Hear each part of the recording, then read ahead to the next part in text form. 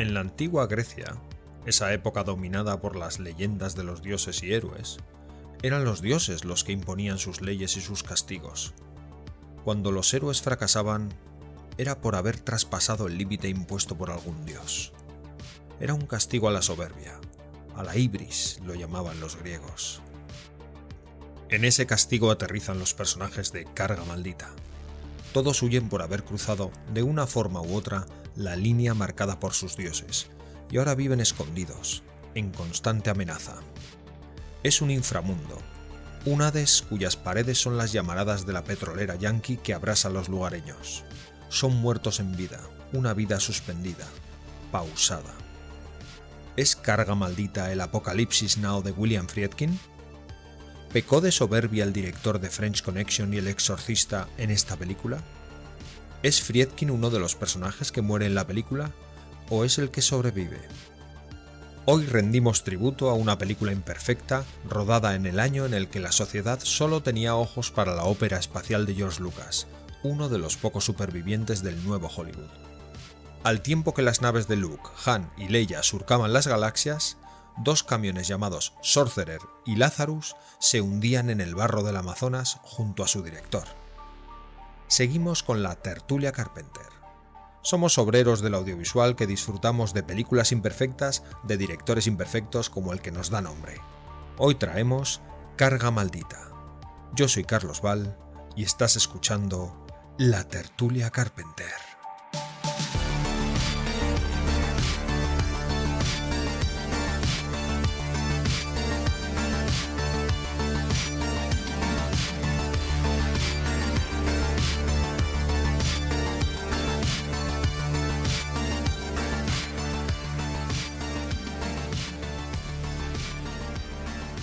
Hola Víctor Fornies. ¿Cómo estáis?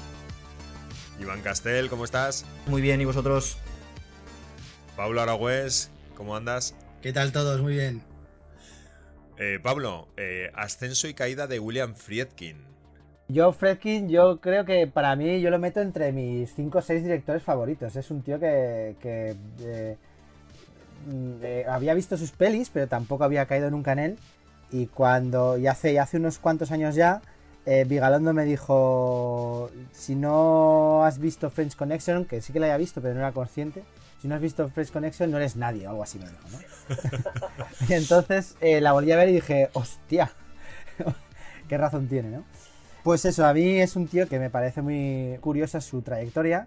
El tío es de Chicago, empieza haciendo documentales allí, eh, en algún momento se, se va a vivir a Los Ángeles y empieza haciendo varios documentales y varias pelis así pequeñas, hace una peli con con Cher, está de Good Times, hace así varias películas, eh, en general bastante pequeñas, muy influenciada, pues mm, le gusta, es un tío que le gusta mucho el cine francés, el de la Nouvelle Vague y demás, entonces siempre intentaba darle un tono un poco más realista que el cine americano de la época, sobre todo él siempre ha intentado hacer las cosas muy con un pozo de documental. Y entonces, de repente, en el año o sea, tiene como 10 años así muy, muy frenéticos en los que hace varias pelis y de repente se planta en 1971 eh, en el que hace French Connection, que también es una peli pequeña, pero que funciona a, todos los niveles, ¿no?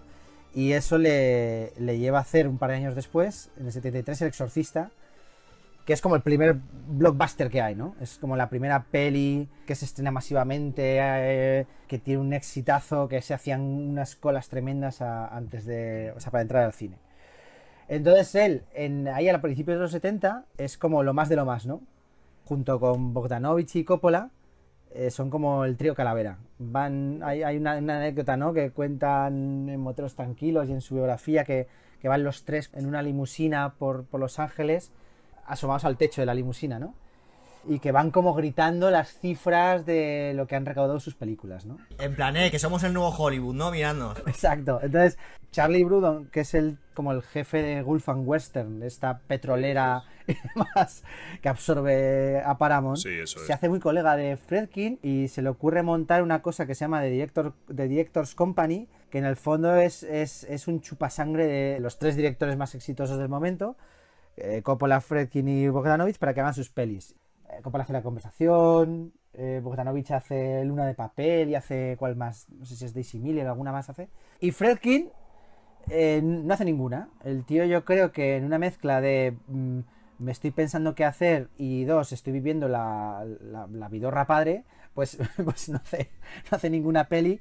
Y en el fondo yo creo que él sabía que, que, es, que eso, todo eso estaba abocado al fracaso y, y, y, que, era mejor no hacerla ahí. Y cuando ya la, eh, dura, dura muy poquito esto del Directors Company, pues se le ocurre lle, llevar eh, hacer el remake este de, de, de, de la, no tanto de la peli de Cluzot, sino de coger la novela, coger la idea, coger tal, llevarla a otro territorio, ¿no? Y se lo lleva a Universal, que le dicen que sí, lo que pasa que luego, como es, el presupuesto se desborda, pues, pues se lo llevan a. lo comparten, ¿no? Con, con quien era, con Paramount, creo. Sí, eso es. Él en esta época eh, todavía está viviendo de los frutos del exorcista. Básicamente es intocable. Puede tomar mmm, cualquier decisión, nadie le cuestiona nada. Brudon dice que es un genio, ¿no? Todo el mundo, tío, pues un poco pues se deja, se deja querer, ¿no? Y entonces, pues eh, en algún momento, creo que es en Moteros Tranquilos, dice, dice que él estaba siendo un cabrón con todos los que estaban subiendo en el ascensor con él, pero que luego le iba a tocar bajar en el ascensor con, con todos ellos, ¿no? Y además, en esta época, es muy curioso cómo coinciden también eh, varias pelis que también por megalomanías y por el desfase este, ¿no? De, de, de, la teoría del autor y todo esto, pues, y sobre todo de la forma de producción de los estudios, que es algo que luego ya no se volvería a dar, de, de que confiasen a ese nivel en, en un autor, ¿no? Que, es, que serían como Sorcerer, eh, Apocalypse Now, Puerta del Cielo, que son como el, clímax ya de, esto y esto se acaba, ¿no? Hasta que hemos llegado. Y además son pelis que se van cada una a una parte, ¿no? Apocalypse Now, Filipinas, esta se vaya a la República Dominicana, eh, la Puerta del Cielo, bueno, es en Montana y tal, pero se, va, se alejan todo lo que pueden de, de, los estudios y tal, imagino, para también hacer lo que les, lo que les dé un poco la gana, ¿no? Él, eh, al hacer Sorcerer, que es como una cosa que, le obsesiona, que quiere que sea como la obra por la que le recuerden, es un fracaso estrepitoso, literalmente la Guerra de las Galaxias le barre de los cines, y el tío, pues, eh, yo creo que este fracasazo que tiene, esta caída total que tiene, la psicosomatiza porque hasta llega a tener malaria en esa época el tío. Y se va a París, se recluye en un hotel y no sé qué y tal. Y lo interesante yo creo que de esto es que de ahí, aunque luego, hasta, hasta hace bien poco, hasta su última peli es de hace pocos años, ha estado haciendo películas de continuo, pero ya nunca más volverá a hacer una peli para los estudios. Siempre van a ser pelis que podrá distribuir un estudio, que podrá tal, pero ya son pelis independientes. Todas las pelis, la produzca de Laurentis o la produzca quien sea, que hace a partir de ahí son, son, son pelis independientes. Ejemplifica muy bien lo que era un director americano en, el nuevo Hollywood, pero que, luego no se ha podido recuperar de, eso, ¿no? Y, luego ha hecho pelis, a, mí, sinceramente, me, encantan sus pelis que ha hecho después, pero, pero siempre ya han sido eh, yo no sé si decir serie B, pero sí que han sido cine independiente, ya no, ha vuelto a ser ese, esa clase A, ese cine comercial. ¿no? Se puede comparar a Fredkin con Chimino, ¿no? O sea, Michael Chimino y William Fredkin, digamos, son los que. Compararle con Coppola, lo que ocurría, muchos directores se quejaban entonces, ¿no? Es que estos tipos del nuevo Hollywood, por eso duró tan poco, ¿no? Dicen que duró como tres años, ¿no? Que se pulían todo el dinero. Y los directores independientes no podían hacer dinero porque estaban haciendo la de Friedkin o la de Chimino o la de Coppola. Y era como, oye, ya está bien. Entonces, esta gente estaba deseando verles caer para poder hacer cine. Era porque es que se están llevando todo el dinero y encima son películas, son eh, megalomanía total, pero luego al final no, no, no revierte en taquilla, como sí hizo Apocalipsis Now o como sí hizo en este caso Tiburón o, o estas pelis, ¿no? Este director, Friedkin, había ganado todo con French Connection, ¿no? Había sido la gran, la gran sorpresa en los Oscar. Luego El Exorcista es una de las pelis más taquilleras de la historia. En ese momento había superado los 100.000, ¿no? Eh, 100.000 millones. Entonces este tío era intratable, ¿no? Hablas de Peter Biskin, ¿no? Moteros tranquilos. Habla también de la relación que en ese momento Friedkin tenía con su pareja de entonces, que es una de las bailarinas de jazz, una, una tal Jennifer Nairn-Smith. Esta tía dice, todo el mundo le decía que era un genio, pero no era necesario, él ya lo pensaba, ¿no? claro, es que, es, que, es que yo creo que en aquella época, eh, justo en ese momento, lo que creo que es, a mí lo que más me llama la atención es que es un momento como de locura, en el cual se alinean los astros de... Es, parece que los americanos descubren el cine de autor y lo llevan como hacen los americanos, es que lo llevan al, al máximo, es decir, esto es lo que va a hacer dinero, porque de hecho se repercute, es decir, primero es Friend, Connection, luego es El Exorcista y dices, ostras, aquí tenemos un filón. Los estudios dicen, si a estos tíos le ponemos 23 millones, como le ponen a Friedkin, vamos a recaudar 300. Ellos solo entienden el dinero y es como que han descubierto la gallina de los huevos de oro. Y lo llevan tan al máximo que, que revientan, que revientan. Pero sin embargo hay una cosa que me parece fantástica, que es que todas estas películas que han sido incluso fracasos, luego, 40 años después, son películas que han marcado a muchísima gente. A mí en concreto la, el nuevo Hollywood y lo que se ha hecho desde el 70. Porque el nuevo Hollywood como tal creo que son los últimos, los últimos 5 años de los 70. Pero empieza, empieza digamos en el 71 o por ahí, ¿no? Y Easy Rider es, bueno, la primera película de esa, de esa ola, ¿no? De, de, de, pelis más negras, más pesimistas, más oscuras, que no estaban acostumbrados a ver los americanos, ¿no? Que eran como el, el director es el que marca la orientación y tiene, y tiene las llaves de, de la historia son películas que sí que han marcado muchísimo. O sea, a mí es la, es la época, desde luego, de cine que probablemente es la que más me gusta y la que más reconozco que me ha. que como director me ha, me ha, me ha marcado. De Deer Hunter, la de Chimino. Me parece brutal esa película. Es una película negrísima, oscurísima, pero maravillosa. Taxi Driver, por ejemplo. hay tantas, tantas y tantas y tantas películas de esa época que en el subconsciente igual no somos conscientes de que vienen de esa época.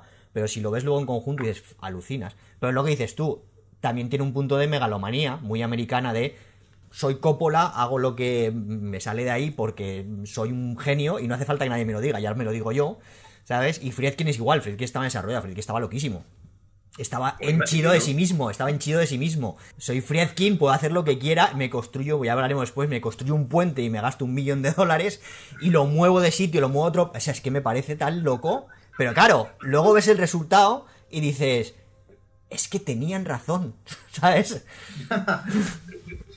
Cuenta eh, Biskin en Moteros Tranquilos Toros Salvajes que la noche del estreno del Exorcista en París, eh, cena con, cineastas franceses, ¿no? Que Pablo, ya se ha apuntado, ¿no? Este tío estaba obsesionado. De hecho, creo, que se casó con, con Jean Moreau, ¿no?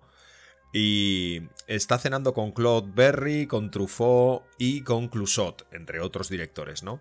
Y además comen en un restaurante super chic de los Campos Elíseos. Eh, que, ah, eh, lo ardió tras un ataque vandálico en, el año pasado, hace dos años, en 2019, en, la manifestación esta de los chalecos amarillos, ¿no? fueron a por, el, a por el, restaurante este. Fouquet se llama.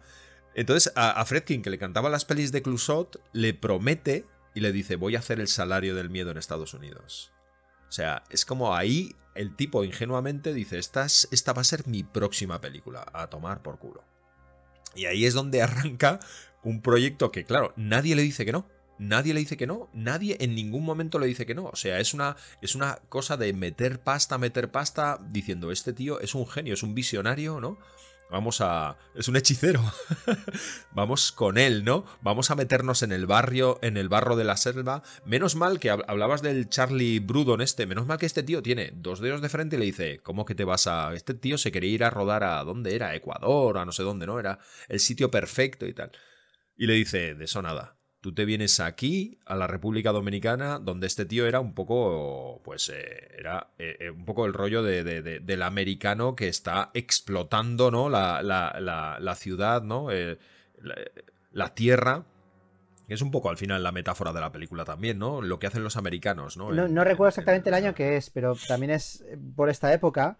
Yo creo que igual eso tuvo que ver bastante en que igual no le dejaran irse a Ecuador al final y tal. Esa es la peli esta de Dennis Hopper, la de The Last Movie, la que hizo después de Easy Rider. Que se fue a Perú, se volvió completamente loco y volvió con no sé cuántos kilómetros de película y estuvo montándola ahí en su casa en Nuevo México tal que fue un desastre mayúsculo total también.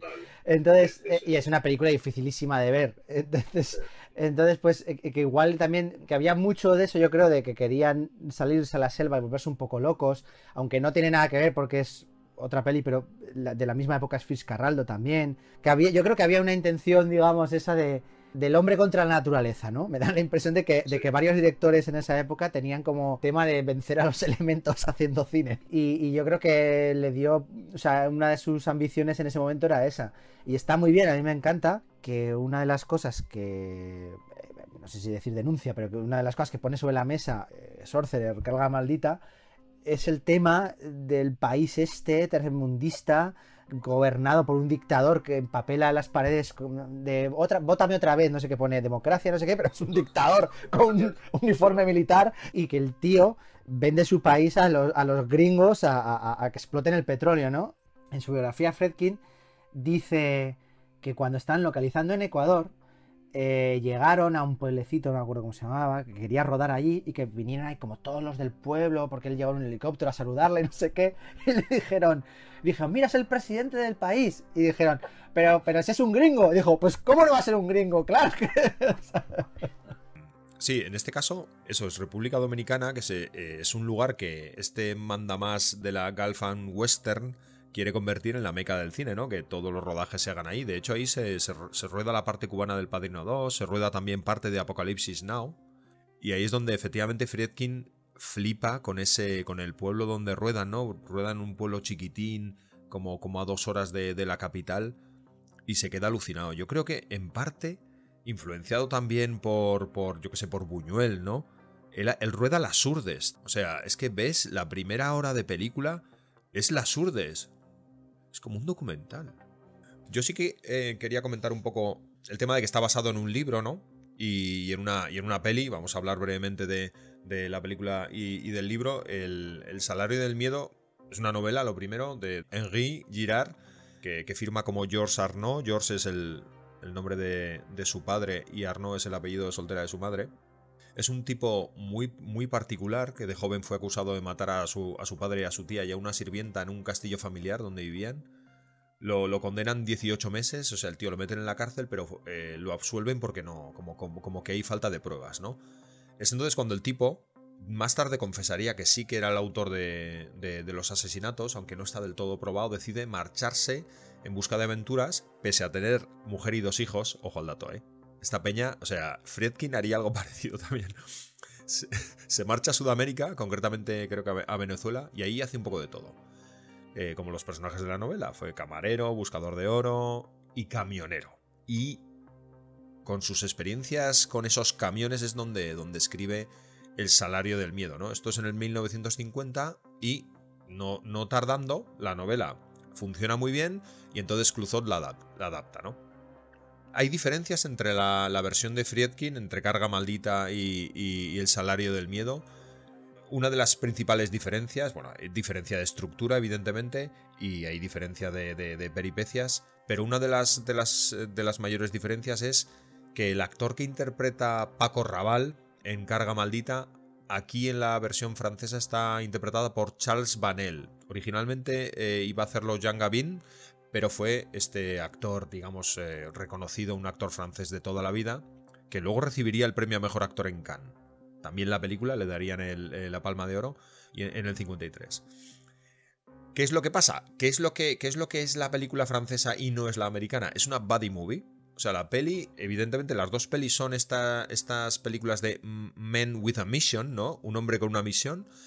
Sin embargo, la francesa es una buddy movie, es decir, entre los dos hay muchísimo diálogo, hay muchísima eh, amistad y eso hace que al final, cuando, cuando muere el, Charles Vanel, ¿no? Solamente eh, el, actor principal llega al final, ¿no? Ismontan llega al final vemos pues eso, que el tipo está no solo destrozado por lo que ha supuesto llevar toda la nitroglicerina a buen puerto, sino también por, por la muerte del amigo, ¿no? Sin embargo, Carga Maldita es lo contrario. El guion, o los diálogos del guion, que por cierto, eh, Pablo, el, guionista es el, el, de... Grupo Salvaje. Es el de Grupo Salvaje, ¿no? Este Wallow Green. Y Robocop 2. Y Robocop 2. se hicieron muy colegas, no sé en qué punto se hicieron muy colegas Wallow Green, este guionista, y, y Fredkin pero vamos, muy colegas, en plan de ir a pintar la casa del otro, ¿sabes? Y cosas así, ¿sabes? y en esa época suya que hablabas antes de Gloria, este, Wallon Green y. ¿Cómo se llama? Bat Smith, creo que es el, montador, que también fue luego muchas veces coproductor de él, eran, pues eran otro trío calavera, estos tres. Iban. Donde iban la montaban también. El, diálogo es muy, muy mínimo, como, como veremos en la película pero la estructura es bastante similar. Sí que es cierto que, el, salario del miedo tiene concretamente una secuencia que lo, que lo que la secuencia en el puente es en carga maldita, en el salario del miedo es una secuencia en una especie de balsa de petróleo, donde ahí El personaje de Charles Vanel, eh, digamos, es malherido, etc. Clusot en realidad está haciendo una peli clásica, ¿no? Y luego otra de las diferencias, y ya termino, es eh, en el protagonista. Is Montan es, es, una especie de chulo de playa, vestido con esos tirantes, ese lazo en el cuello, más cerca del proxeneta vividor y mujeriego. Y sin embargo, el protagonista de Carga Maldita, que es, para mí, el jefe Brody moral, ¿no? Roy Shader, es, es un tío que es como un bala perdida, ¿no? Un miserable abandonado en el infierno, ¿no? Pero es un tío que, joder, le has visto matar a un tiburón, ¿no? Entonces estás ahí, ¿no? Con él, eh, queriendo que llegue a buen puerto, ¿no? Y luego hay un montón de personajes nuevos en carga maldita, como por ejemplo el, terrorista israelí, etcétera, etcétera, etcétera. Termino con una, eh, con una anécdota muy curiosa. Paco Raval, originalmente Fredkin quería a Paco Raval para French Connection. De hecho, le dijo al productor, quiero al tipo de que sale en las pelis de Buñuel. Esto se lo he oído yo a Garci, decirlo a Garci. Entonces, entonces el productor le trae al tipo que rueda las pelis de Buñuel que es Fernando Rey. Fredkin quiere la cara de Paco Raval, que luego, hostias, en la peli en carga maldita se sale. Y dice, bueno, este me vale también. yo, creo que, ahí eh, el, productor igual no le dijo nada. Y dijo, el que pega es Fernando Rey, joder. A Fresh Connection le pega más Fernando Rey que Paco Raval. Luego Paco Raval en Sorcerer está, está increíble el tío. Pero es que en Fresh Connection tenía que ser Fernando Rey con la barbita esa, joder. Es que es así. Entonces, bueno, ya, eh, ya metiéndonos un poco en harina, ¿no? Eh, carga maldita. Bueno, se filma en Francia, Israel, la República Dominicana, luego en Nueva Jersey.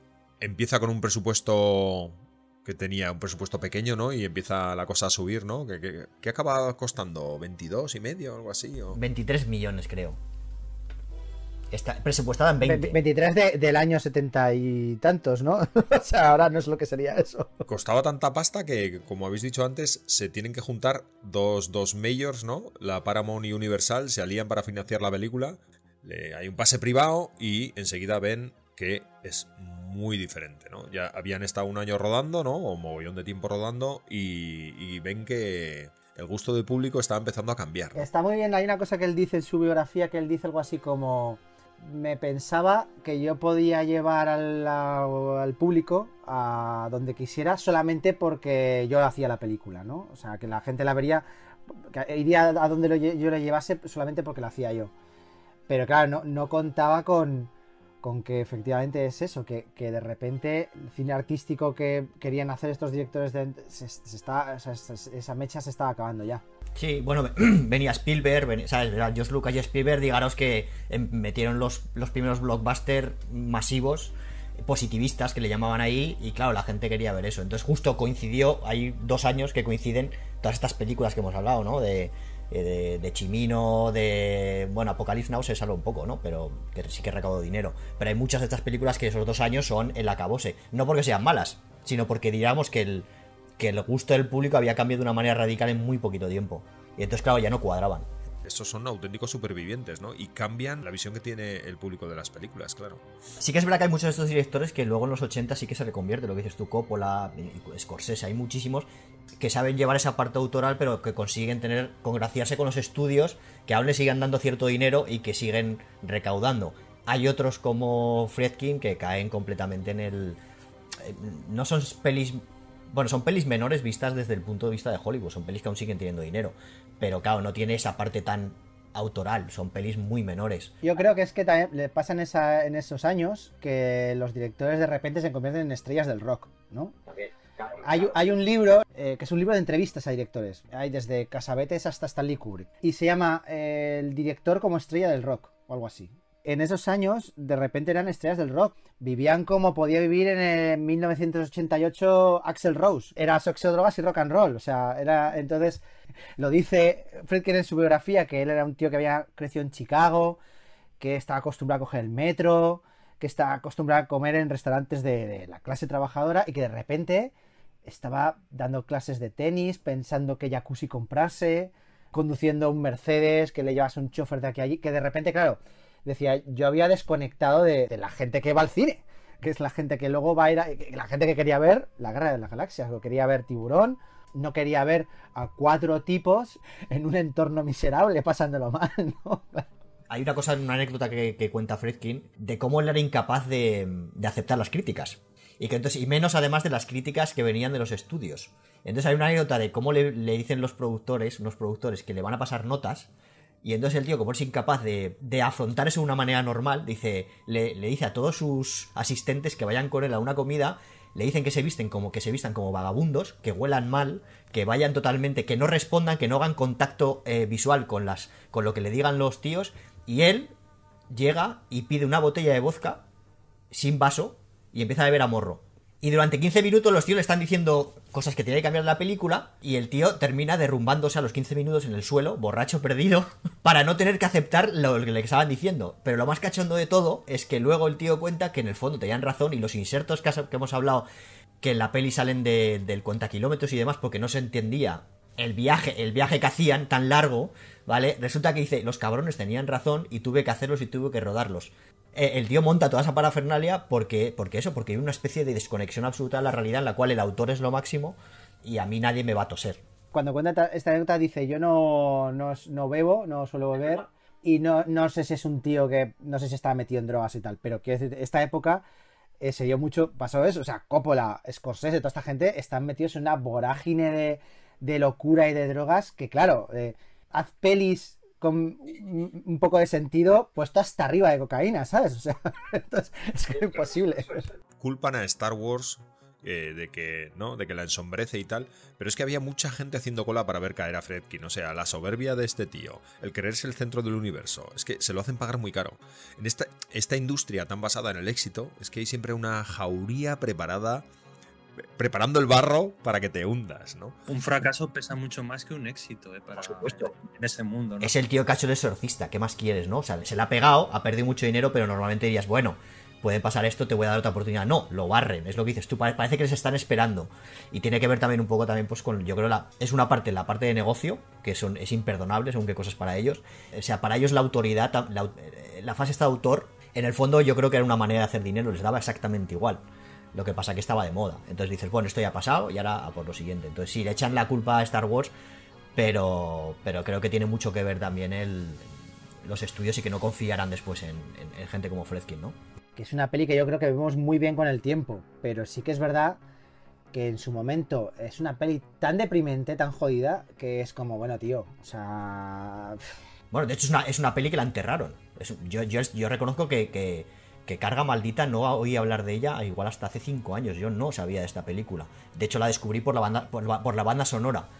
Porque me encantaba la banda Dream, estaba escuchando música electrónica y me encantó la banda sonora. Y no sabía que era una peli de Fredkin.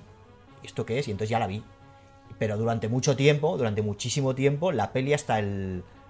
Hasta el 2014, me parece, no tuvo una, un estreno un reestreno en Blu-ray aceptable. Habían hecho unos VHS malísimos, unos DVDs penosos. De hecho, Fredkin no tenía ni acceso al material original.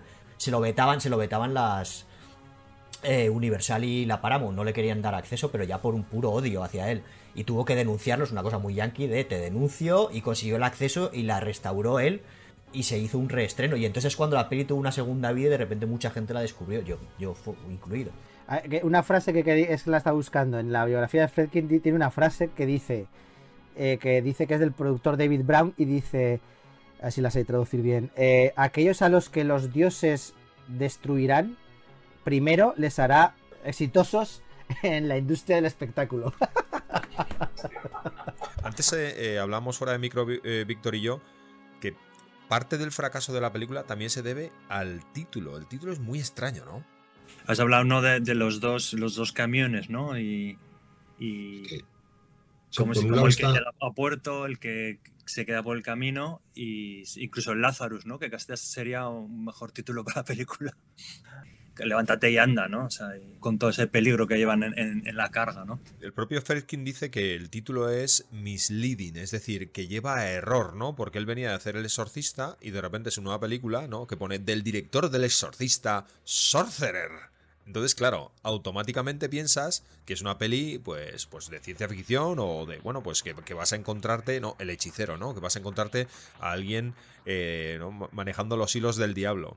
Lo que comentábamos también antes, ¿no? De fuera de micro un poco de, de esta especie de sombra que hay después del exorcista en, en, esta película, ¿no? Porque es como esotérica, este principio de esta especie de figura eh, tallada en, no sabes, una roca, un árbol, que, que desaparece. O sea, creo que solo aparece al principio y al final. Pero sí que la película tiene como ese, esa sombra, ese icono del exorcista, un poco de algo esotérico que no acaba de explotarse, creo, ni acaba de profundizarse, pero está ahí, ¿no? Igual un poco en la música también, ¿no? Una música que me recuerda mucho al exorcista, ¿no? Y, y en ese sentido, no sé, claro, creo que hasta le pudo, después de ver una película tan fuerte como debió ser en 1963, ver Exorcista, porque yo conozco gente que la ha visto de niño y quedaron traumatizados, porque es que esa película era, hacer eso en 1973.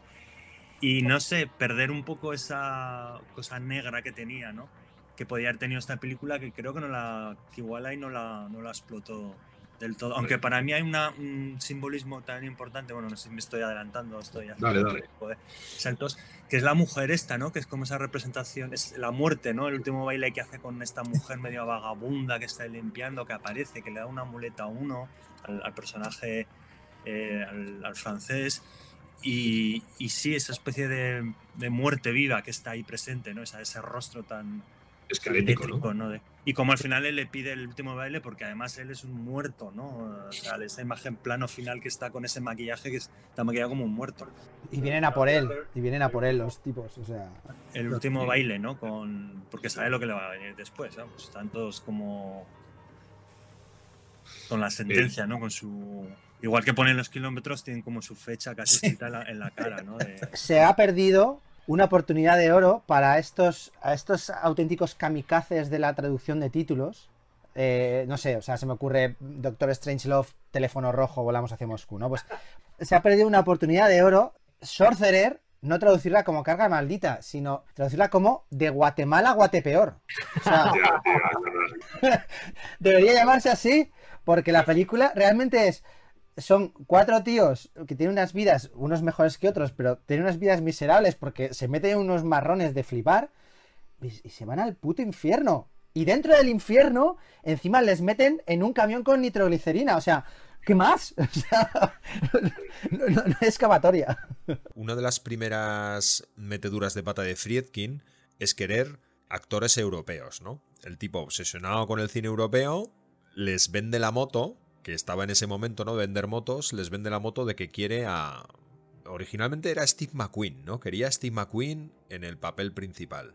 Luego quería a Lino Ventura eh, para el papel que acabaría haciendo, creo que el francés, ¿no? El, Lino Ventura, un actor francés. Luego Marcello Mastroianni.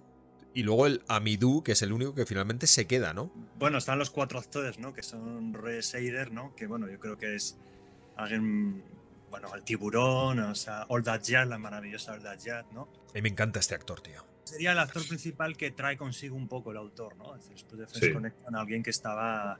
Luego está pues lo que habéis comentado antes de Paco Raval, que para mí le da un matiz muy interesante porque tiene esta cosa latina, de mafioso latino, eh, caribeño, ¿no? Así que aparece ahí con esa cara no tan... Bueno, es un actor tan increíble, ¿no? Y le da ese matiz. Aunque bueno, luego comentar una cosa, porque yo creo que hay cierta descompensación en la introducción de los personajes, pero hay algunos que Paco Raval o te lo introduce primero con tres planos, mientras que luego a los otros eh, ya entra un poco en, en, en, la vida de estas personas y, o sea, de, de, cómo llegan ahí, ¿no? Mientras de Paco Raval es un tío que entra, le dispara a otro y, se acabó, ¿no? Y, Sí. que aparece luego en lo del avión, es un personaje que podría tener cierto misterio, pero yo creo que hay mucha descompensación en ellos. Sí, el sicario, ¿no? El actor francés, que es Bruno... Kremer, Bruno Kremer. sí, que hizo, sobre todo se hizo muy famoso por la televisión, eh, que, un comisario Megrid, creo que es un, papel que interpretó, y luego Amidou, ¿no? que es un, actor eh, franco, eh, perdón, franco marroquí, ¿no? Que salió en la película está John Huston, Evasón Victoria. Está del, del, partido este de fútbol entre los nazis y los prisioneros de la Segunda Guerra Mundial. Una película maravillosa. Sí, sí, sí. Y, y el Are era uno de los, de los, de los intérpretes, ¿no? Sí. Y, bueno, sí, son sobre todo los cuatro principales. Y lo que dices tú, esta idea un poco de, de tener como. Porque es verdad que, que también al principio de la película se ve esta intención un poco de demostrar la situación geopolítica un poco del el atentado en, Israel, eh, las mafias un poco de, Nueva York y de, luego también el empresario este de la banca, del, de los dineros que se mueven en otro sitio, que no se sabe muy el trepiche este que, tiene, el que tiene que escapar corriendo, que se, se dispara el, amigo, se pega un tío en la cabeza en, en, medio de este, de este jardín de un restaurante de lujo. Y bueno, sí, esa idea un poco de, creo que tenía un concepto un poco, sí, de, la situación un poco política y de, de, esta idea también de autor de, por un lado, eh, mitómana de querer tener actores y que venían de películas y de, y de olas y de movimientos así interesantes en Europa, ¿no? De, de cine, sobre todo Nouvelle Vague, bueno, luego Buñuel. Y, y, un poco es eso, esta idea también geopolítica de, de, la situación muy potente que se está dando en, los años 70, ¿no? A vosotros nos fascina el, el Paco Raval en esta película, porque a mí me fascina. Está increíble. Lo primero que ves en la película es a Paco Raval hecho un pincel, está, él creo que en el primer plano, y yo dije, ¿qué estoy viendo? Y luego, 1977, es como eh, de un tío americano en no sé, what the fuck, o sea, no entendía nada, pero el personaje de Paco Raval es que a mí me fascina. De hecho, todas mis notas, que tengo ahí como seis notas, es ¿dónde está Paco? ¿Qué le pasa a Paco? ¿Sabes? son todas las notas que tengo aquí, ¿sabes? Me fascina ese personaje, tío. Parece ser que ese prólogo de Paco Raval lo, lo ruedan mientras están haciendo tiempo para la construcción del puente en México. Entonces el tío está ahí en Veracruz y hace ese plano inicial bellísimo que va de la terraza y literalmente son tres planos, ¿no? Y es verdad que para el que no ha visto la película dices, coño, pero si ese es Paco Raval, ¿no? Si la ves así de primeras, que Paco Raval no es el personaje principal, y desde luego aquí en España no le conocemos por, por carga maldita, le conocemos por otras pelis, ¿no? y es un auténtico eh, figura, ¿no? Ahí dentro de, de, la película. Creo que incluso no solo nos flipa a nosotros, porque a Friedkin le debe flipar la cara y la carcajada de Paco Raval que la, reproduce después hasta la saciedad, ¿no? En cualquier momento, ¿no? Sobre todo en el momento climático eh, de, la película, ¿no? Hablando del casting, eh, a mí me gustaría mencionar a la mujer de, Mans, de Manson, que es Anne-Marie de Scott, que es una tipa que sale en un par de pelis de Buñuel, una mujer guapísima, eh, me parece que tiene un estilazo, y dice Friedkin que ella dice la frase que resume la peli, que resume el tema de la peli, que es algo así como No one is just anything, que yo no sé cómo se traduciría esto de No one is just anything. Nadie es solo algo. Eh, nadie es solo una cosa, sería un poco la tradición. Nadie es solamente una nadie, es, nadie es cualquiera, diría yo. Algo así. Sí, o nadie es solamente una sola cosa, porque ella, el, como le está leyendo el poema este de El soldado, que cuando baja la mano, por mi, por mi gesto al bajarla, mato a alguien, él le pregunta, ¿entonces bajo la mano? Y ella dice, sí, y entonces dice, vale, es solo un, un soldado más. Y entonces le replica, nadie es solo una cosa. Bueno, ya que estamos metidos en la trama, ya hemos pasado, ¿no? Por Veracruz, por Paco Raval asesinando a un tipo, ahí vemos que, es un sicario, diríamos, ¿no? Yo os pregunto, ¿Cuál es la intención de Paco Raval eh, una vez que llega, digamos, a, República Dominicana? ¿Es cargarse a Roy Seider? El objetivo de Paco Raval es un poco confuso, eh, pero en un momento dado sí que, sí que se deja un poco entrever. Pero sí que es. Estoy casi convencido de que es que él tiene que matar a Roy Snyder, porque viene a través de la mafia. Eso es lo que tiene sentido, porque además es el único que no tiene sobrenombre, ¿no? Es el único que va, va vestido, ¿no? Va con un, con, un fajo de billetes, ¿no? Claro. Bueno, pasamos de Veracruz a Jerusalén. ¡Pum! Ahí está eh, Nasim, ¿no? Amidú, que sale de la puerta de Sion con un par de, colegas, con una mochila que resulta estar llena de explosivos. Eh, se refugian en un zulo, pero enseguida aparece la policía, ¿no? O sea, el tío eh, pone una bomba en un banco. Otra de las cosas que, me revela eh, la biografía de Friedkin, yo digo, no sabes, ¿es, es un banco o no es un banco.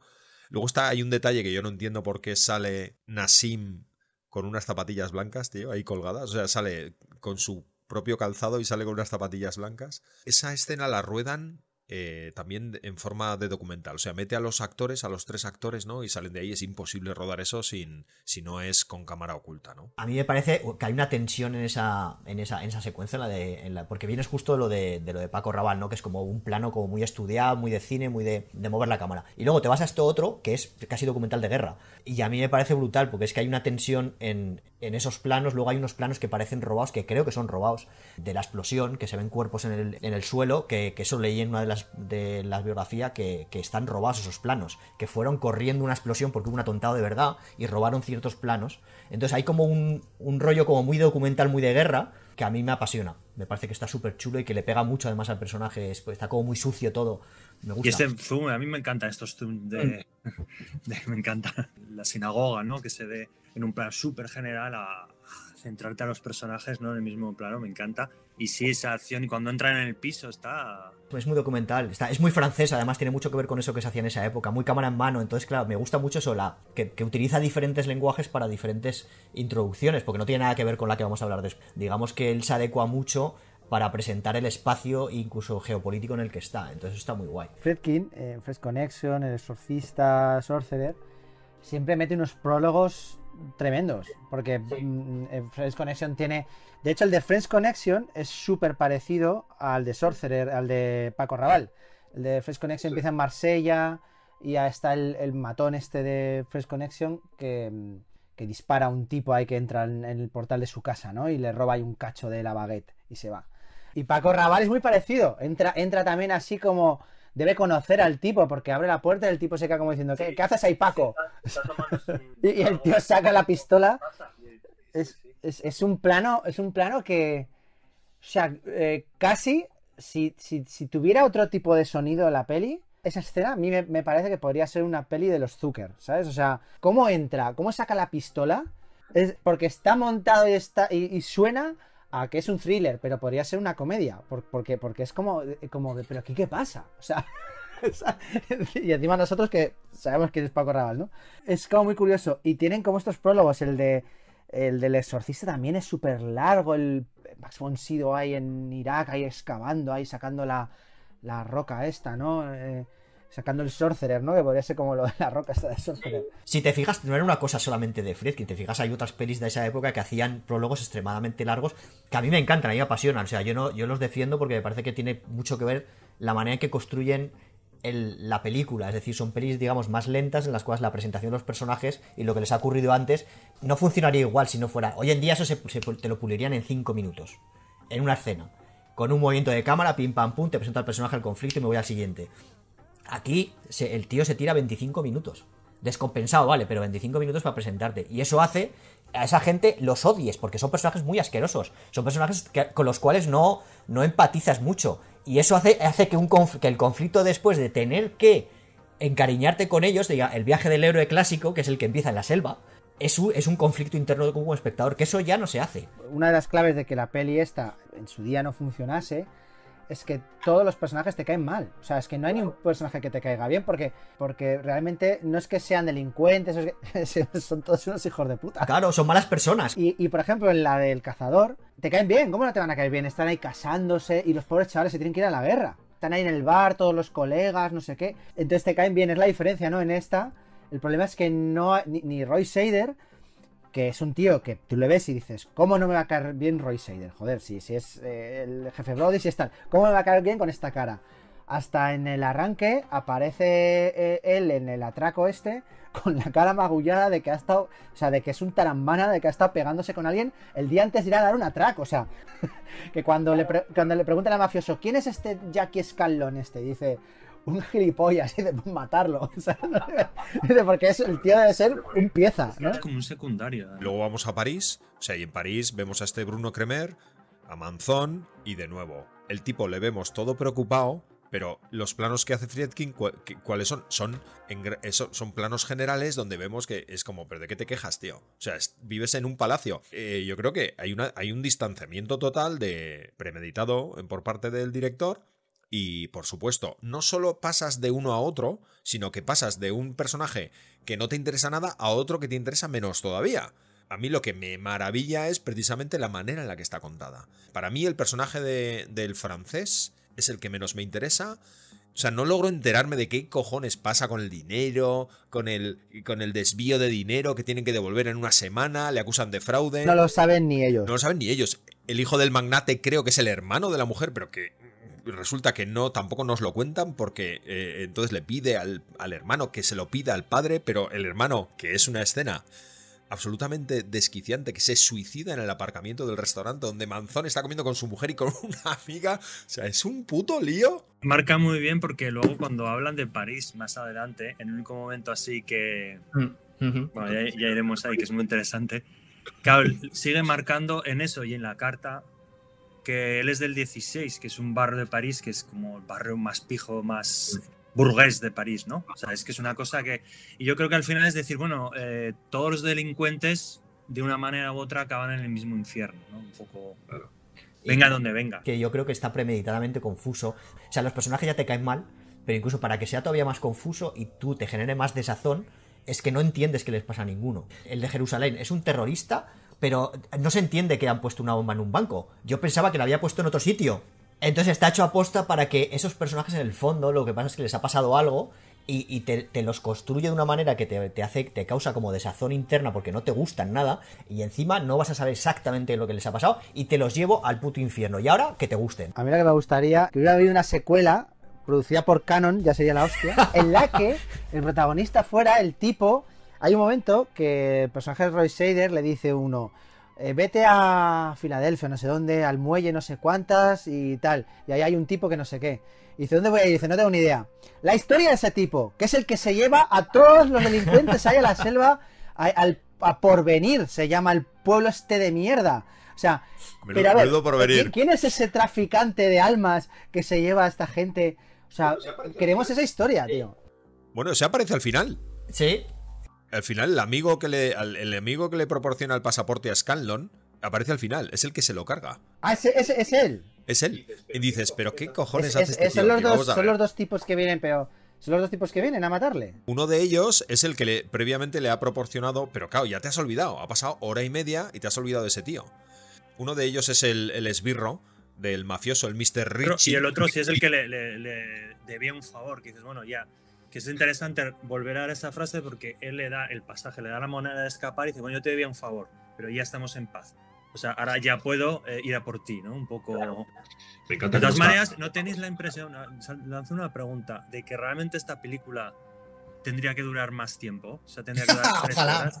Sí, porque creo que hay muchas cosas que quedan, que no se acaban de desarrollar al ritmo que, que tiene la película, que otras sí. O sea, y yo creo que esa descompensación, yo creo que es falta de metraje, porque ahora, igual puedes hacer una película así de tres horas o tres horas y media. Sí. Pero entonces yo creo que sería inviable. Sí, sí, no, no, no, no los puedes meter en el cine tres horas, ¿no? O sea, sí, sí. Pero yo creo que es una película que las cosas que le pueden faltar, eh, sí, es por falta de metraje, porque él tiene su ritmo, la película, y, y hay cosas que las echas de menos un poco, que te pierdes, evidentemente. Totalmente, yo me pierdo, ¿eh? Quizás es que necesita más metraje esta película, necesita una hora más. Yo creo que sí rodaría más. Tengo aquí el guion, eh, que es un, esto es como una especie de facsímil del guion original, está incluso con anotaciones de Fredkin y tal, que le regaló Fredkin y Wallon Green, que se lo regalaron en el 2013, está firmado aquí, a la Cinemateca Francesa. Eh, y tiene notas, tachaduras, tiene tal de, de Fredkin.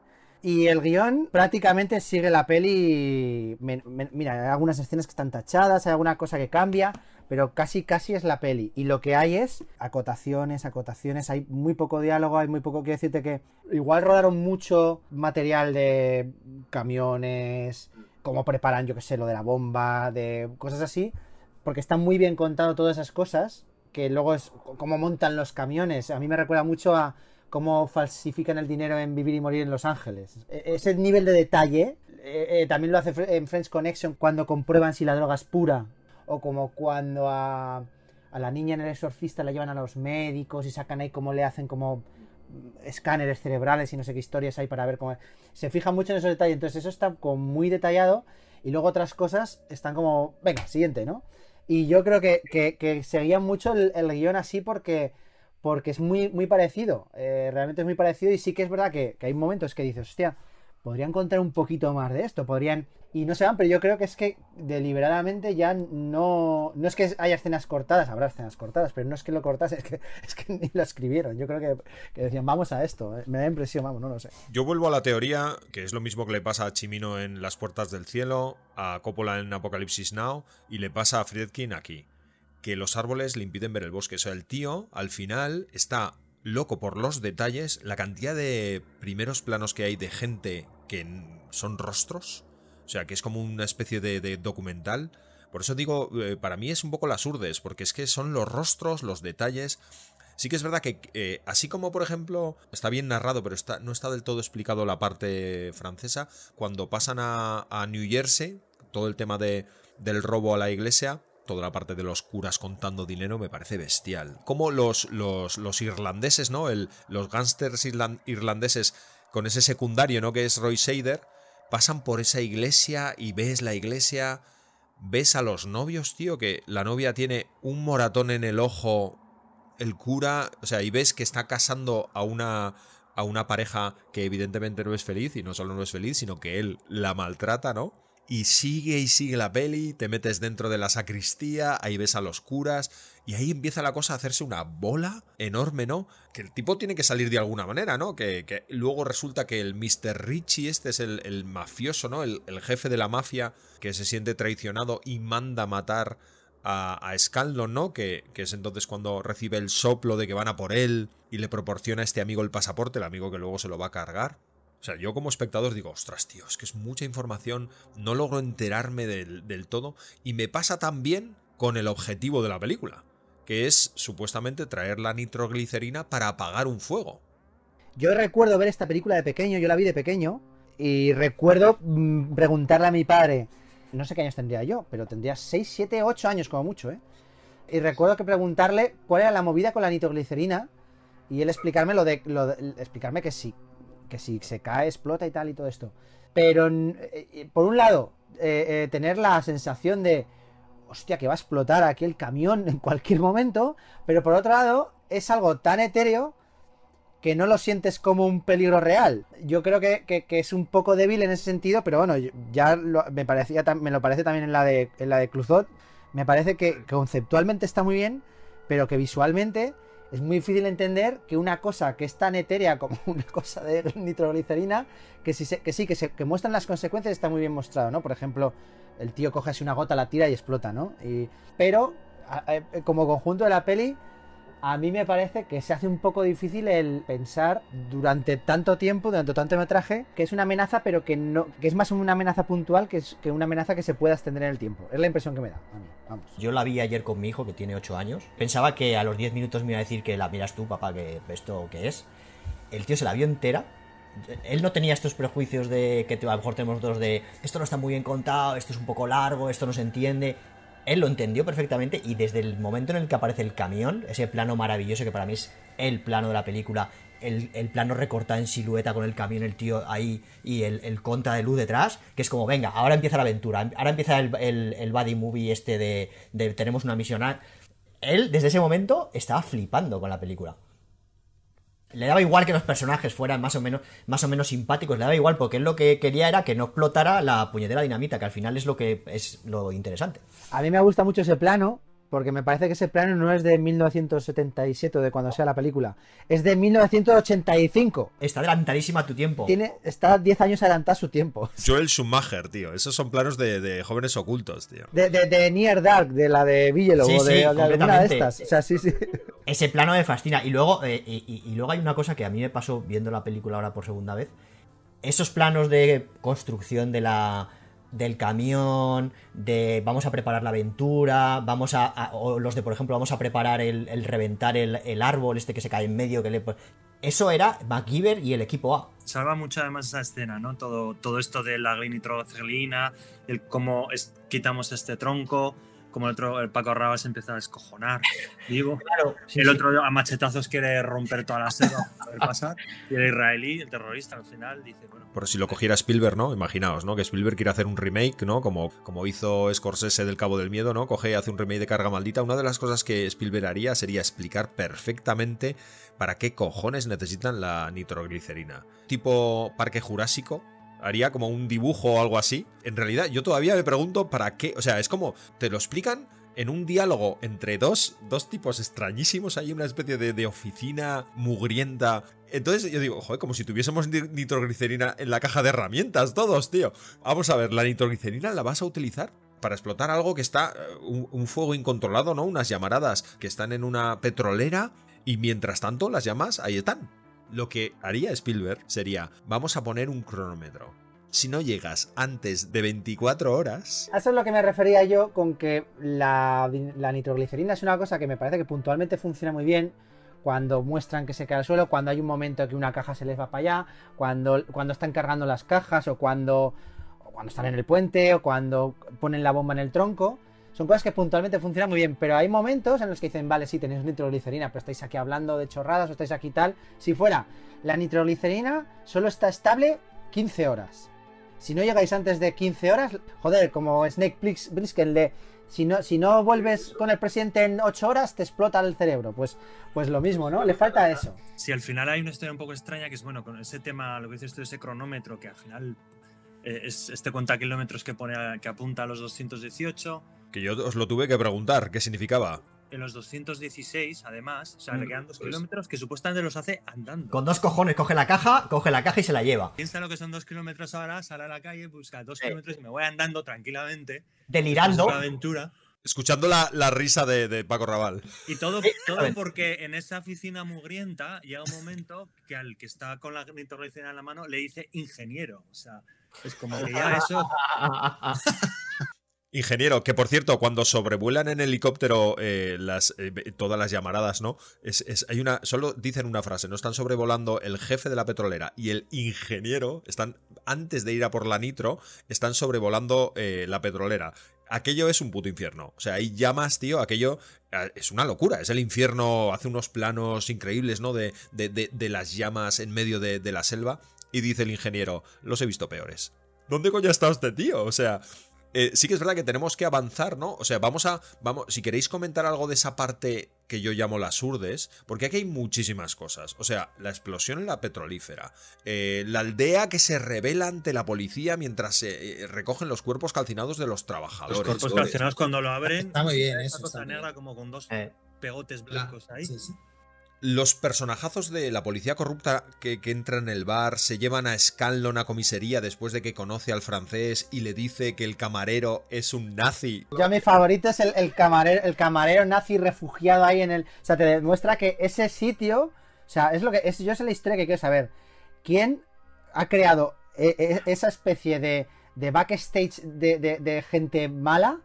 que se los lleva ahí, ¿sabes? Y los esconde. ¿Desde, desde qué año, no? Porque hay un, un escondido. Eso, tiene que ser real, porque eso, eso lo ha vivido el, escritor, el, escritor de la novela. Y además, qué curioso, porque en el bar no todo el mundo puede entrar, solamente el que tiene dinero. También se cuenta en el salario del miedo. Y vemos que en Carga Maldita todas las ventanas están llenas de gente mirando. La, la peli arranca también con un, con una estructura muy de, muy de película de los 80, que es el reclutamiento de los, ¿no? De los cuatro, ¿no? Hay dos mitades en la película completamente marcadas. Además, es, es eh, antes del reclutamiento que es todo esto que hemos hablado ahora. Sí, las urdes, que es como muy documental, más lento, más de presentación de personajes, que todas estas cosas desesperantes de este sitio, que bueno, vas avanzando, pasan cosas, es un poco la vida cotidiana de esta gente en este segundo infierno en el que se mete. Y luego es la peli americana 100%, en la cual tienen una misión absurda, esta gente va a morir todos, lo sabes desde el primer momento, están abocados al fracaso, pero están juntos, de repente, en vez de estar lobos solitarios, estos lobos solitarios se juntan todos y crean un grupo en menos de 5 minutos en esa especie de conexión que hacen cuando ya los han reclutado y tienen que construir ese camión que sale maravilloso de piezas absolutamente dantescas, que no sé cómo han construido ese camión allí. Y me fascina, por cierto, que el francés, que es un tío rico del distrito 16, sepa montar motores de camiones en allí en Sudamérica. Que le, que le, coge ahí y hace tiki tiki tiki, pero bueno, tú te lo tragas porque es así, lo está tan bien contado. Eh, y esa segunda mitad de repente arranca otra película completamente diferente, pero oye, te lo comes con patatas. O sea, yo me lo como, es como, venga, ahora vamos a otra cosa, cuéntame otra cosa. Y y empieza otra película.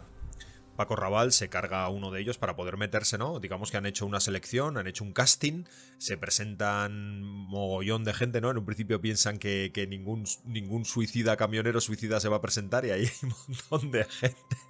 Es buenísimo con el megáfono como si vendieran colchones que van por el pueblo ahí anunciando que necesitamos gente que, se arriesgue la vida para llevar un camión de nitrógeno. Además el tío, lo marcan, ¿eh? Es decir, si no estás dispuesto a perder la vida, no te presentes el casting también es maravilloso, que les meten en un camión, ponen una botella de whisky en el salpicadero, ¿no? Para ver cómo ondula, ¿no? el agua, ¿no? Si el agua fuese nitroglicerina, como... como y, ahí hay, un detalle, ahí me encanta, que están, está conduciendo el, terrorista, el terrorista árabe, y, el, jefe de la petrolera le dice, ¿pero estás loco?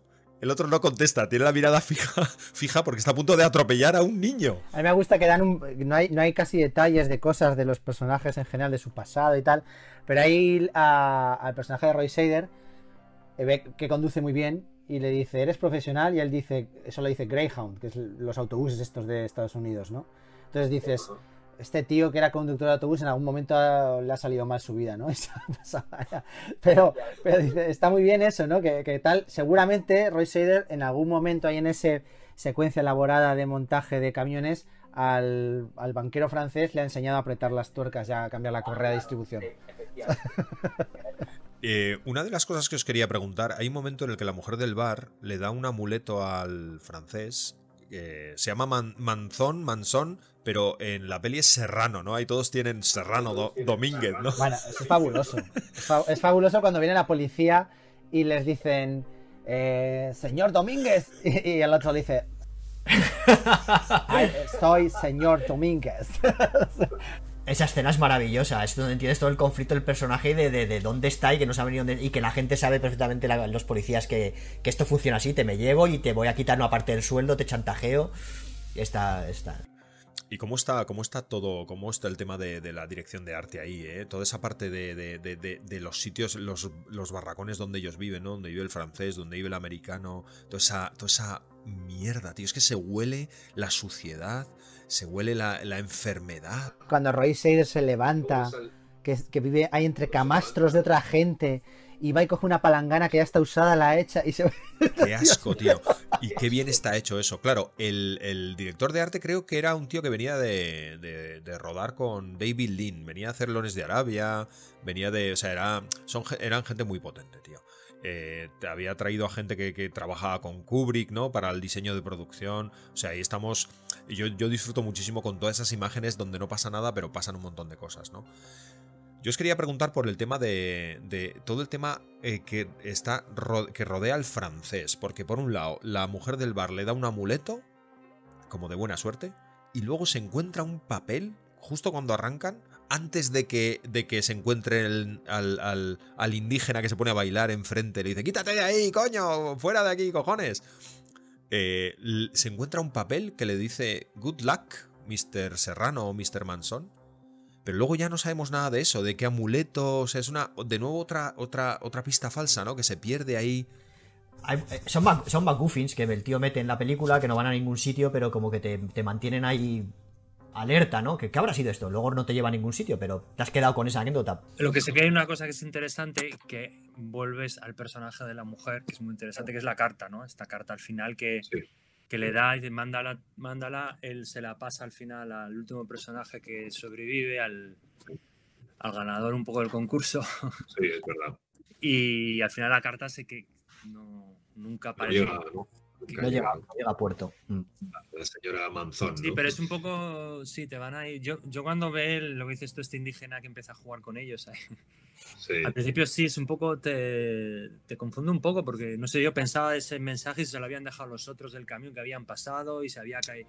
Pero claro, no, no tampoco. Es, es un poco confuso, sí. sí. Es como bueno, lo que dices, McDonald's hay que no te llevan a nada, siempre mm. te van un poco. Te van empujando. Lo mismo que la imagen, ¿no? El plano que hace de, la escultura esa de piedra, ¿no? Que parece una especie de amuleto diabólico. Y porque además cuando la mujer le da el, amuleto, él se vuelve y guiña el ojo, como diciendo.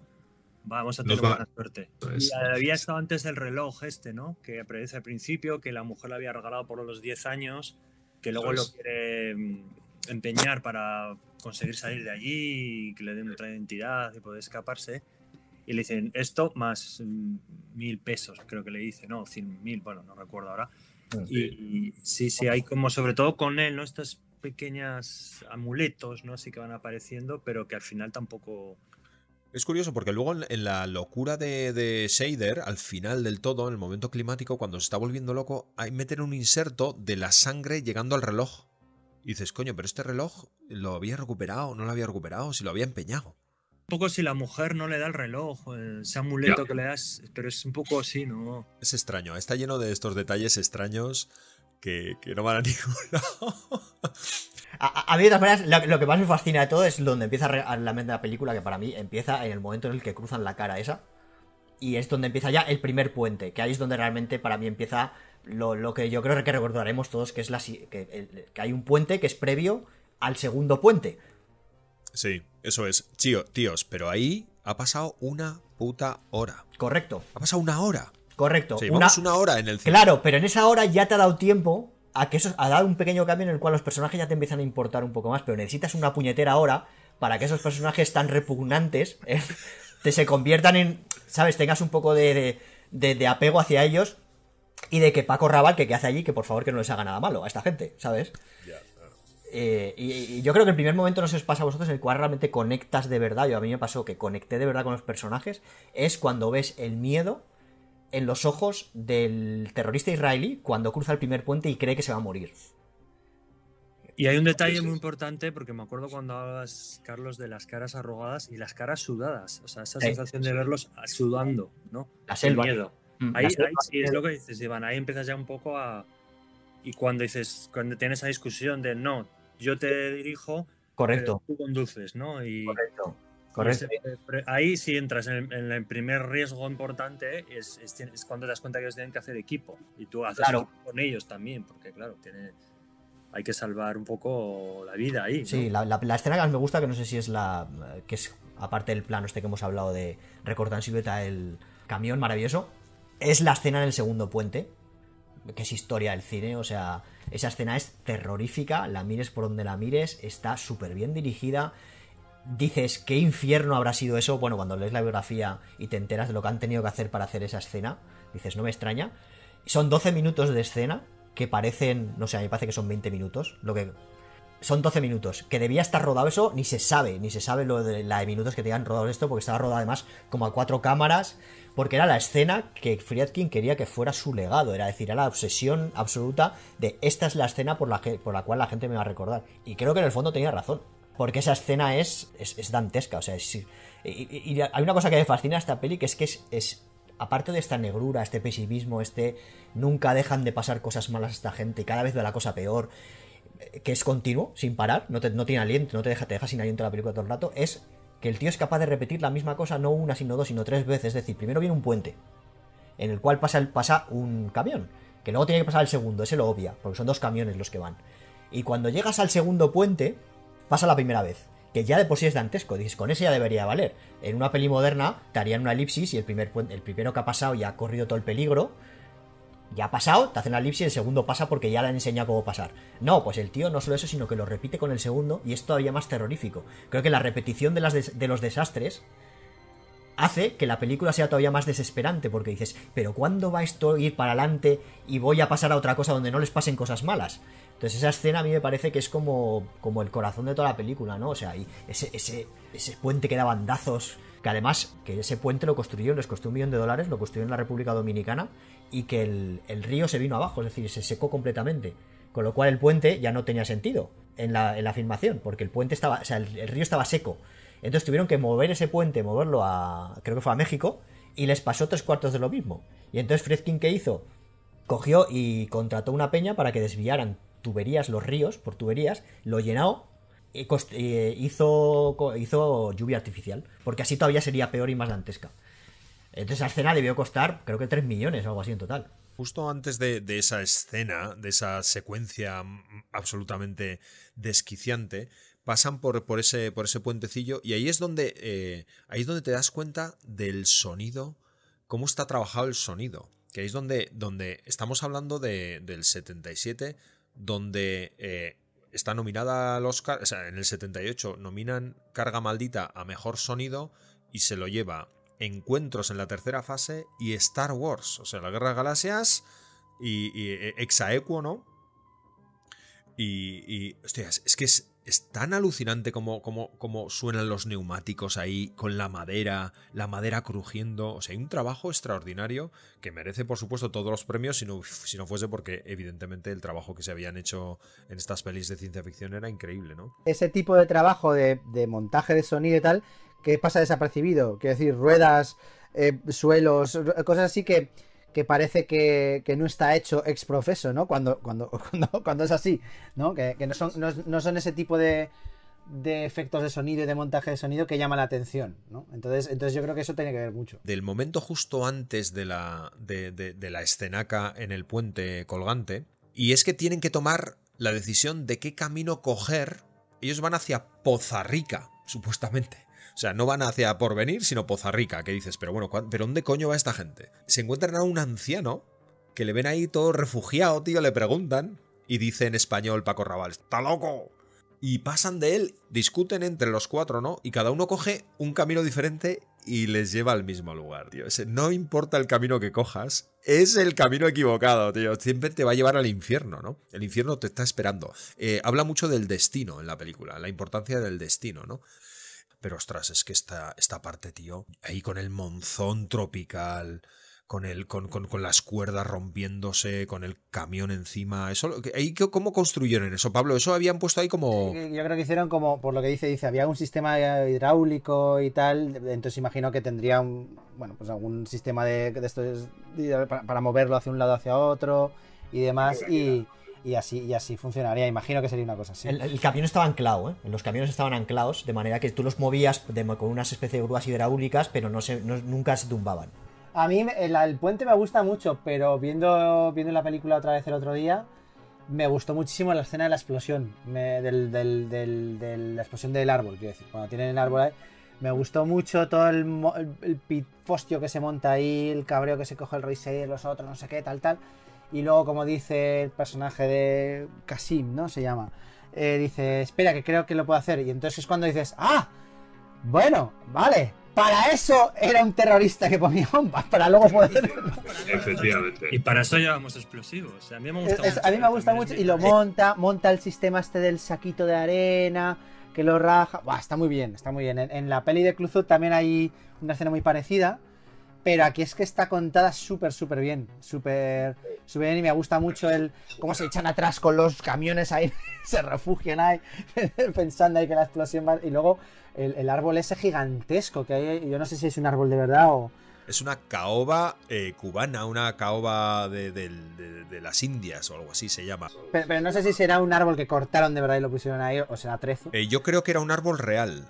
Porque no, no, el, tipo de, el tipo de los efectos especiales no, no, no, no fue capaz de volarlo en pedazos. No fue capaz, tío. Es que hay una, en la biografía, no sé si habéis leído, hay una escena, del- hay una anécdota de la hostia de, de- de que están intentando volar ese árbol y viene el Charlie Bluedorn este, ahí en helicóptero, aterriza ahí a- Sí. jodiéndoles la toma y, y viene con no sé quién Y es viene con otro, ¿no? Con un subalterno y con una tipa, ¿no? Con una modelo, ¿no? Y dice, eh, Fred, ¿quién es un genio? No sé qué, tal, tal. Le da la acción y no explota. Y dice Fredkin que era como un anticipo de lo que le esperaba, porque cuando se da la vuelta el tipo ya se ha ido. ¿no? El Charlie Brown ya se ha ido en plan de, si no lo consigues en la primera, o sea, strike 1, fuera, ¿no? A tomar por culo. Entonces, eh, es un poco lo que le esperaba, ¿no? De- después de esta peli. Está muy guay esa. A mí esa escena me parece que está muy bien. La, del- la del tronco me parece que está muy bien. Está muy guay, es un poco MacGyver también esa escena. En cierto modo, la metáfora de esa escena es que al final tienen que aliarse los cuatro para poder llegar a buen puerto, ¿no? Y para poder destruir. Yo quería hacer hincapié en dos cosas. Una de ellas es el corte enseguida. O sea, una vez que el segundo camión, ya justo la última rueda supera el puente, corta, tío. O sea, es que no. O sea, normalmente, pues, ostras, respiran aliviados, se miran y sonríen, yo qué sé, dan un grito de, de- de- de alegría. No. Corta, tío, pum, el tronco, ¿no? O, ve- o vemos cómo descubren la parte del tronco. O sea, ya va a saco. Yo creo que precisamente lo que decía Víctor del montaje, ¿no?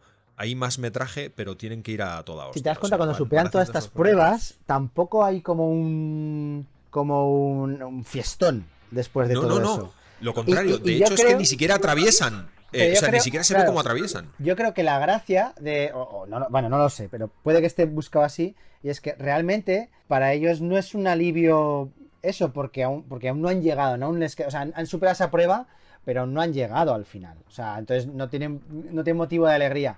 Y cuando empiezan a caer y dice Roy Seider, sean 20 mil dólares para mí solo, no sé qué, algo así, no sé cómo dice, ¿no? Que la única motivación que tienen es la pasta, y la pasta no por vivir, sino porque quieren salir de ahí. O sea, hasta, hasta en el momento cuando al final está en la cafetería, que le dan un cheque y, el tío es, me cago en mi puta vida, me he jugado el pellejo y ahora me dan un puto cheque para cobrar en un banco de Managua, no sé dónde. Y dice, ¿qué coño es esto? Vete al banco que te lo pagarán. Y el tío dice, bueno, el avión me va a esperar. Y dice, sí, lo tienes para ti solo. O sea, hasta en ese momento el tío dice, nunca me voy a ir de aquí. Y yo creo que no se alegran porque saben que, que están condenados. O sea, saben que... Están hechizados, Sí, tío. Yo, más que condenados, están hechizados, tío. Es una pasada. Resume muy bien el concepto de toda la peli. Ese momento en el que Roy Sayers se levanta de su camastro, cruza entre todos esos camastros de gentuza, estás ahí maloliente, y coge la palangana y está echándose agua ahí en la cara, y mira ahí al patio ese asqueroso que tiene delante, y el tío tiene una cara de diciendo, pero qué hostias he hecho. O sea, para, para estar aquí, que me hubieran pegado un tiro en Nueva Jersey, ¿sabes? Y yo creo que eso es, que eso es el, el- el- resume muy bien todo eso, que están todos ahí como están ahí huyendo de una movida, pero están todos deseando irse. Y hacen. Y se meten en un camión con nitroglicerina para pagarse un avión para poder largarse de allí a, ver dónde coño van. O sea, se podría hacer hoy en día esta película perfectamente, pues al final es una peli de aventuras. Pero no tendría jamás el mismo espíritu que tenía. Esa negrura nunca jamás. Estaría muy enmascarada en muchas otras cosas. Habría un final que incluso aunque fuera. No hubiera un final negro como este. O sea, este, este- el final es completamente desolador. De verdad, además. En una peli hoy en día sería irónico el final. Habría una ironía, una vuelta de tuerca. Pero al final alguno terminaría ganando eh, al sistema. Nunca en la vida, ¿sabes? Te- Tendríamos estos finales en los cuales la desesperación. O sea, al, al final el antihéroe hoy en día tiene que ganar de alguna manera. Tienes que tener un regalo al final de esta. de este desazón que te han hecho vivir. Tiene que ver mucho con la época esta en la cual eran muy. creo que eran muy conscientes de hacia dónde iba el mundo y querían contar esta negrura del ser humano interna. Precisamente que el guionista sea Wallen Green, que es el guionista de Grupo Salvaje. Yo creo que hay mucho de, mucho de ese espíritu de Peckinpah en la peli. Eh, eh, Correcto, mucho de, sí, de ese espíritu de Peckinpah, que no es solo de Peckinpah, que, que- que este hombre también lo traía, ¿no? Porque eh, eh, Grupo Salvaje, todo ese final que tiene totalmente nihilista de ellos inmolándose por salvar al compañero, pero realmente es vamos a, a matarnos aquí. y Todo eso, todo eso es un poco meterse en un camión con nitroglicerina, ¿no? Y de ese espíritu un poco en las siguientes pelis de Peckinpah, en La Huida o en Pat Garrett y tal, también hay un poquito de eso por ahí, ¿no? Y, y yo creo que esa especie de huida hacia adelante, pero que es hacia la nada, eh, está en estas pelis. Y yo creo que, que es un poco igual el Zeitgeist de este momento, ¿no? De, de ese momento. Puede ser. Me gusta mucho también cuando salen de la selva, después de vencer a la naturaleza, eh, cuando cae el primer camión. O sea, es que el momento justo que se relajan, que ellos empiezan a hablar de París. Y no sé, además, yo por lo menos como que tienes un presentimiento de decir, bueno, ahora que parece que todo está bien, puede pasar algo, ¿no? Y que, y que pincha una rueda o algo. Entonces, la cara de asombro que pone decir, no puede ser, hemos pinchado una rueda y nos la vamos a pegar, aquí se acaba. No queda claro, porque parece que pincha una rueda, pero luego Es un poco extraño. Como todo, no sabes muy bien qué ha pasado. no sabes muy bien qué ha pasado, pero creo que es un disparo de la milicia. Es un disparo de los terroristas. Que aparezcan los Frente de Liberación este es una pasada. A mí me vuelve loco que, que en ese momento de la trama aparezcan estos tíos. Y sobre todo, pero me vuelve loco que no los, que no los maten. Cuando luego paran a Roy Sader y a Paco Raval. Que están ahí, o sea, que, que no los maten al principio, que no cojan, les pegan dos tiros y les, se les lleven el camión, como que discutan y tal, ¿no? Me vuelve loco eso. De repente se abre ahí un.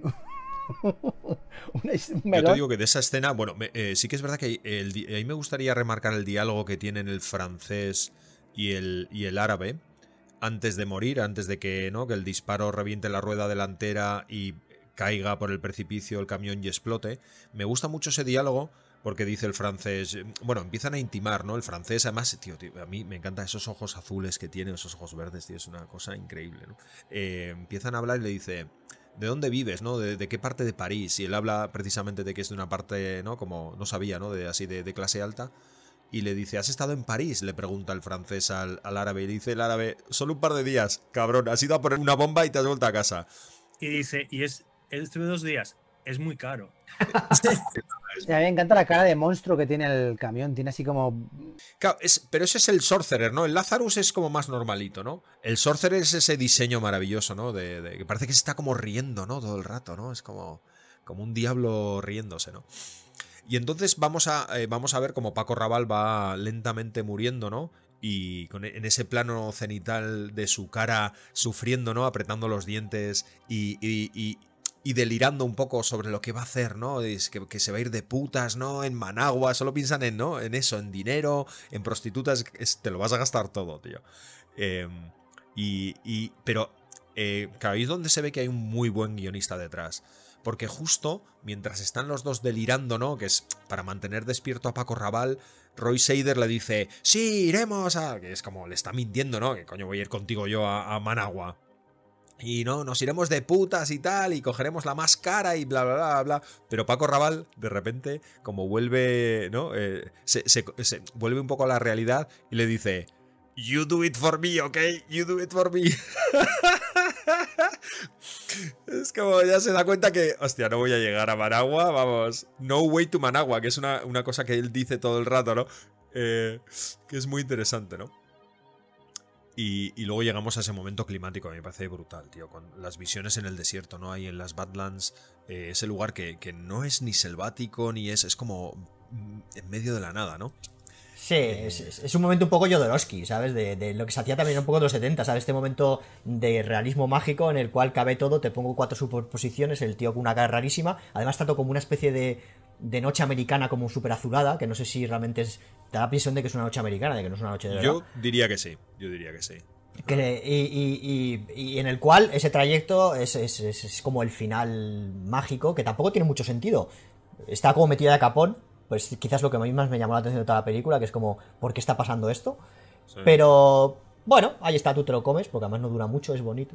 Está- pero está muy bien, yo creo que tiene mucho que ver que lo rodase un tiempo después, de- o sea, que lo rodase ya editando la peli, habiendo rodado toda la peli, porque él, él lo dice, no sé si lo dice, creo que lo dirá, me imagino, en su biografía, dice Freddy que él era como, que ese momento eh, era como el momento, el- el estado mental, ese desierto es como el estado mental del protagonista, pero él dice que tenía mucho que ver también con cómo se sentía él en ese momento, entonces yo creo que tiene mucho que ver que lo rodó un tiempo, ya, ya habiendo rodado toda la peli, habiendo pasado todas esas penalidades eh, y editando la peli que también tuvo sus penalidades, entonces yo creo que, que tiene mucho que ver el, el que sea muy distinto, eh, por- porque, porque mete ahí como sus frustraciones personales en, en eso, me da la impresión.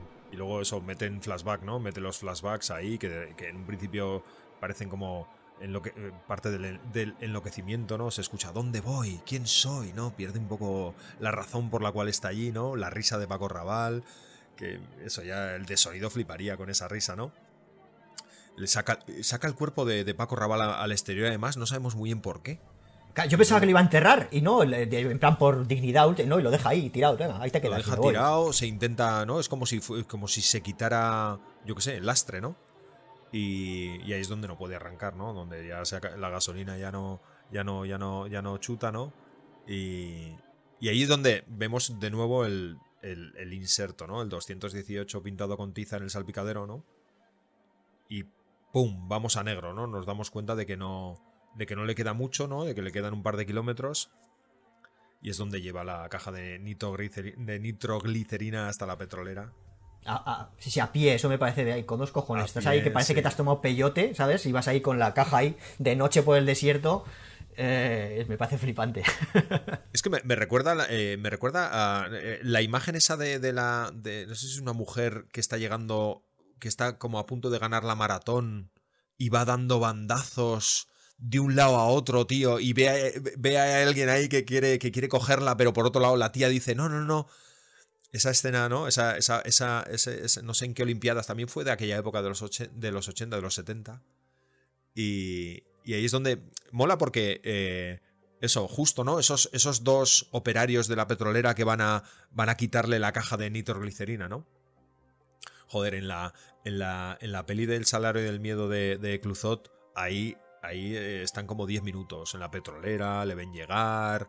eh, o sea, ahí, ahí sí que hay mogollón de tiempo, ¿no? Sin embargo, aquí es un plano. Es un plano, que es un, es un paneo. Y donde vemos el fuego ahí a saco, que todavía es como dices, joder, es verdad, tío, después de todo este tiempo todavía está la llamarada, ¿no? Es como la, la llegada al infierno. si os dais cuenta, Es como es el, tío llega, ya, ya, ya cruza todo, ¿no? Todo el páramo este y tal. y ya llegáis al, al puto infierno. Pero que este. en circunstancias normales un director haría un plano corto, tío. O sea, te has, te has hartado a hacer planos cortos, tío, y, de- y sin embargo mm, ni te recreas en, en- en el fuego o en la silueta del tío a contraluz. No hace- yo creo, yo, vamos, la impresión que me da es que no hace falta porque en el fondo es que nos da igual el pozo petrolífero. O sea, no es una cosa que nos que sea necesaria para la historia. Sí, la tienen que apagar porque es su misión, pero realmente nos importa poco cómo lo apaguen o esto es en, la de Paul Thomas Anderson que tienen que apagar, también un pozo en la de Pozos de Ambición es, es diferente, porque ahí sí que él necesita el petróleo para hacerse rico, para tal, o sea, para su vida, ¿no? Él, necesita para su objetivo como personaje, necesita apagar ese pozo para volver a iniciarlo y tal. Pero Roy Shader no saca nada de que apague el pozo, entonces, ¿qué, más da que, su cara está hasta los cojones ya de... Y de hecho yo creo que, que no lo hace porque el final no es ese, ¿sabes? Porque tú esperas que va a ser ese el final. Dice, vale, ya ha llegado, está ya medio moribundo, ya no me hace falta más, ya sabes que ha quedado él solo, ya está, no va a ganar el dinero, o sea, no haría falta, ya podía hacer una elipsis y irse a créditos. Y, pero ¿qué pasa? Que realmente lo, soluciona, lo cierra en el, en el siguiente, en el bar. Que ahí es donde le hace un plano corto, que a mí me parece que es un plano precioso, donde tú crees que ¿no? el tío llega, le dan los 40 mil dólares, el tío no sabe qué va a hacer porque sabe que se tiene que ir un avión, no sabe ni cómo los va a cobrar, y en ese momento en el cual el héroe eh, parece que se va a redimir y debería estar medianamente contento, le hace un zoom de estos setenteros, que yo soy súper fan de estos zooms, que hace... Y, se- y te hace un plano de sus ojos, y es tal la desesperación de este pobre hombre que ahí es donde entiendes que ahí está el final de la película. ¿no? En, en ese plano para mí está el final de la película. Por eso creo que no lo hace anterior. no. anterior. Yo creo que es muy interesante porque además el viaje acaba pues cuando muere el camión, o sea, es, Mm. es genial, no hay justificación, pues bueno, pues vale, pues lo llevan dando, ¿qué más da? O sea, Sí. Y luego es que esos últimos planos son muy, o sea, la para mí la cierra muy, muy, muy bien, que es con Sí. ese plano, con el voy a bailar con esta mujer, y luego la llegada de ese taxi, que es el mismo taxi que coge a Paco Raval cuando se escapa un poco así, eh, que está de tránsito hacia Managua, no way to Managua, No way to Managua. que se escapa y coge ese taxi y vuelve a llegar ese taxi que creo que es un momento muy, muy interesante porque bueno, ves llegar el taxi y dices, hostia, que esto no ha acabado y ves bajar a- al esbirro del, del mafioso y al, y al que le había jugado, ¿no? La, la- o sea, que le había ayudado a escapar pero que al final es, es- acaba siendo un poco... El detalle curioso es que se cruzan con un, con un camión militar, tío. Y hay como, como 15 militares ahí encima y es como, hostia, esto sigue y sigue, ¿no? El, el corte, el corte es a, a- a- la- a los banners publicitarios de- del, del dictador, tío. Que sigue ahí. Sí, y, y- y ¿no os parece que el punto de esa escena, aparte que me parece súper elegante como eh, una vez que ha hecho este plano eh, cerrado los ojos de Snyder y él se levanta, va a, hablar, va a bailar con la mujer, este último baile que has dicho tú, eh, Víctor, como el tío, la cámara se va fuera en un paneo súper elegante, ya no hace nada, se ve a los personajes que entran, pero el tío sigue, en el, sigue fuera, en el mundo sigue, y se oye un simple. Que es como el disparito de la o sea no hay un no hay un- una gran explosión o un gritos nada. Es, es casi imperceptible en el que tú oyes que la han disparado.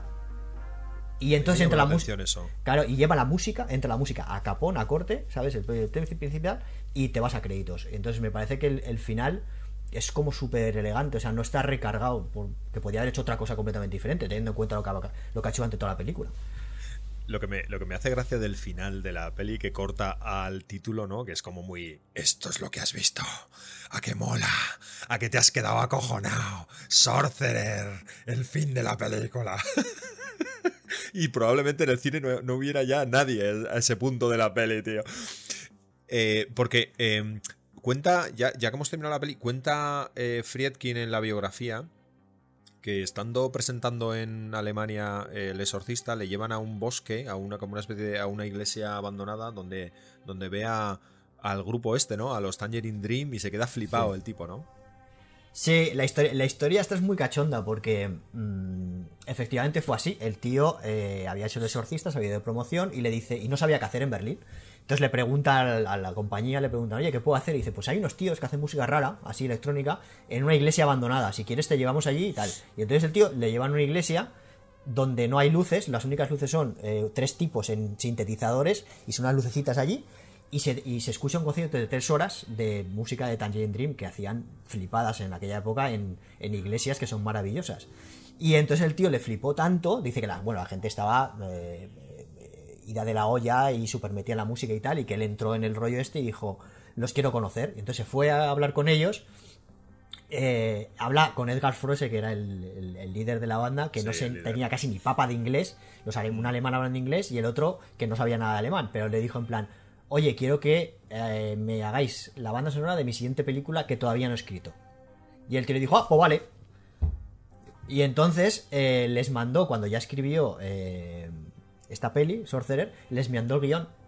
Y entonces ellos hicieron, eh, alquilaron un, cine en Berlín y con el guion y unos sintetizadores y unas guitarras y demás, pero como todo muy sencillo, y lo grabaron en un 4, en un 8 pistas que estaba traído de, de Abbey Road, del, del estudio mítico de donde los Beatles. Cuando lo desmantelaron, ellos compraron el 8 pistas y se lo llevaban a Berlín. Y entonces en ese 8 pistas, o sea, no es nada tecnológicamente súper avanzado, ¿eh?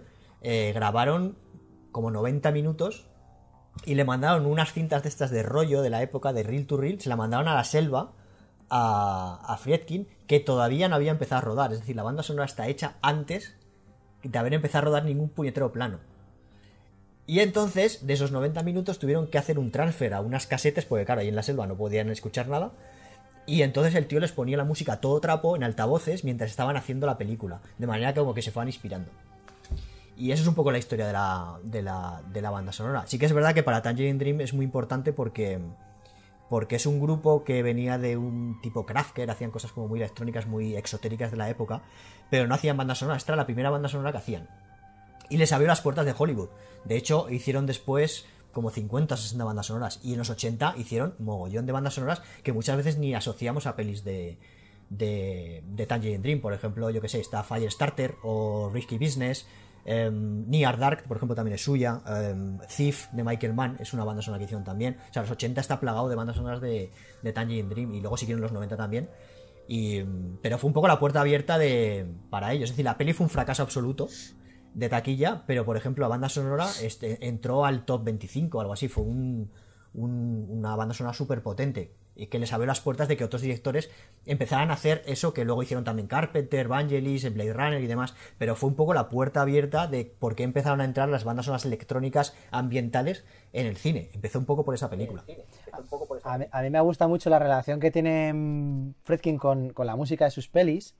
En varias películas eh, descubre, o, o- o- o igual no descubre de la nada, pero sí que descubre para el cine eh, música, por ejemplo, en El Exorcista con, con este hombre, no con Mike Oldfield, eh, aquí con Tangerine Dream, en Vivir y Morir en Los Ángeles con Wang Chung, eh, Wang Chung, perdón, y, y, y- y me, me parece que esta voluntad suya de querer alejarse de las bandas sonoras tradicionales, a mí me, me gusta mucho, me parece una cosa en su momento súper moderna, ahora estamos, lo vemos constantemente, ¿no? Pero que me parece que en su momento el tipo, eh, me parece que dice, voy a dar un paso adelante, ¿no? Y en vez de coger y, y que hacer la típica banda sonora de orquesta y tal, voy a hacer otra cosa diferente.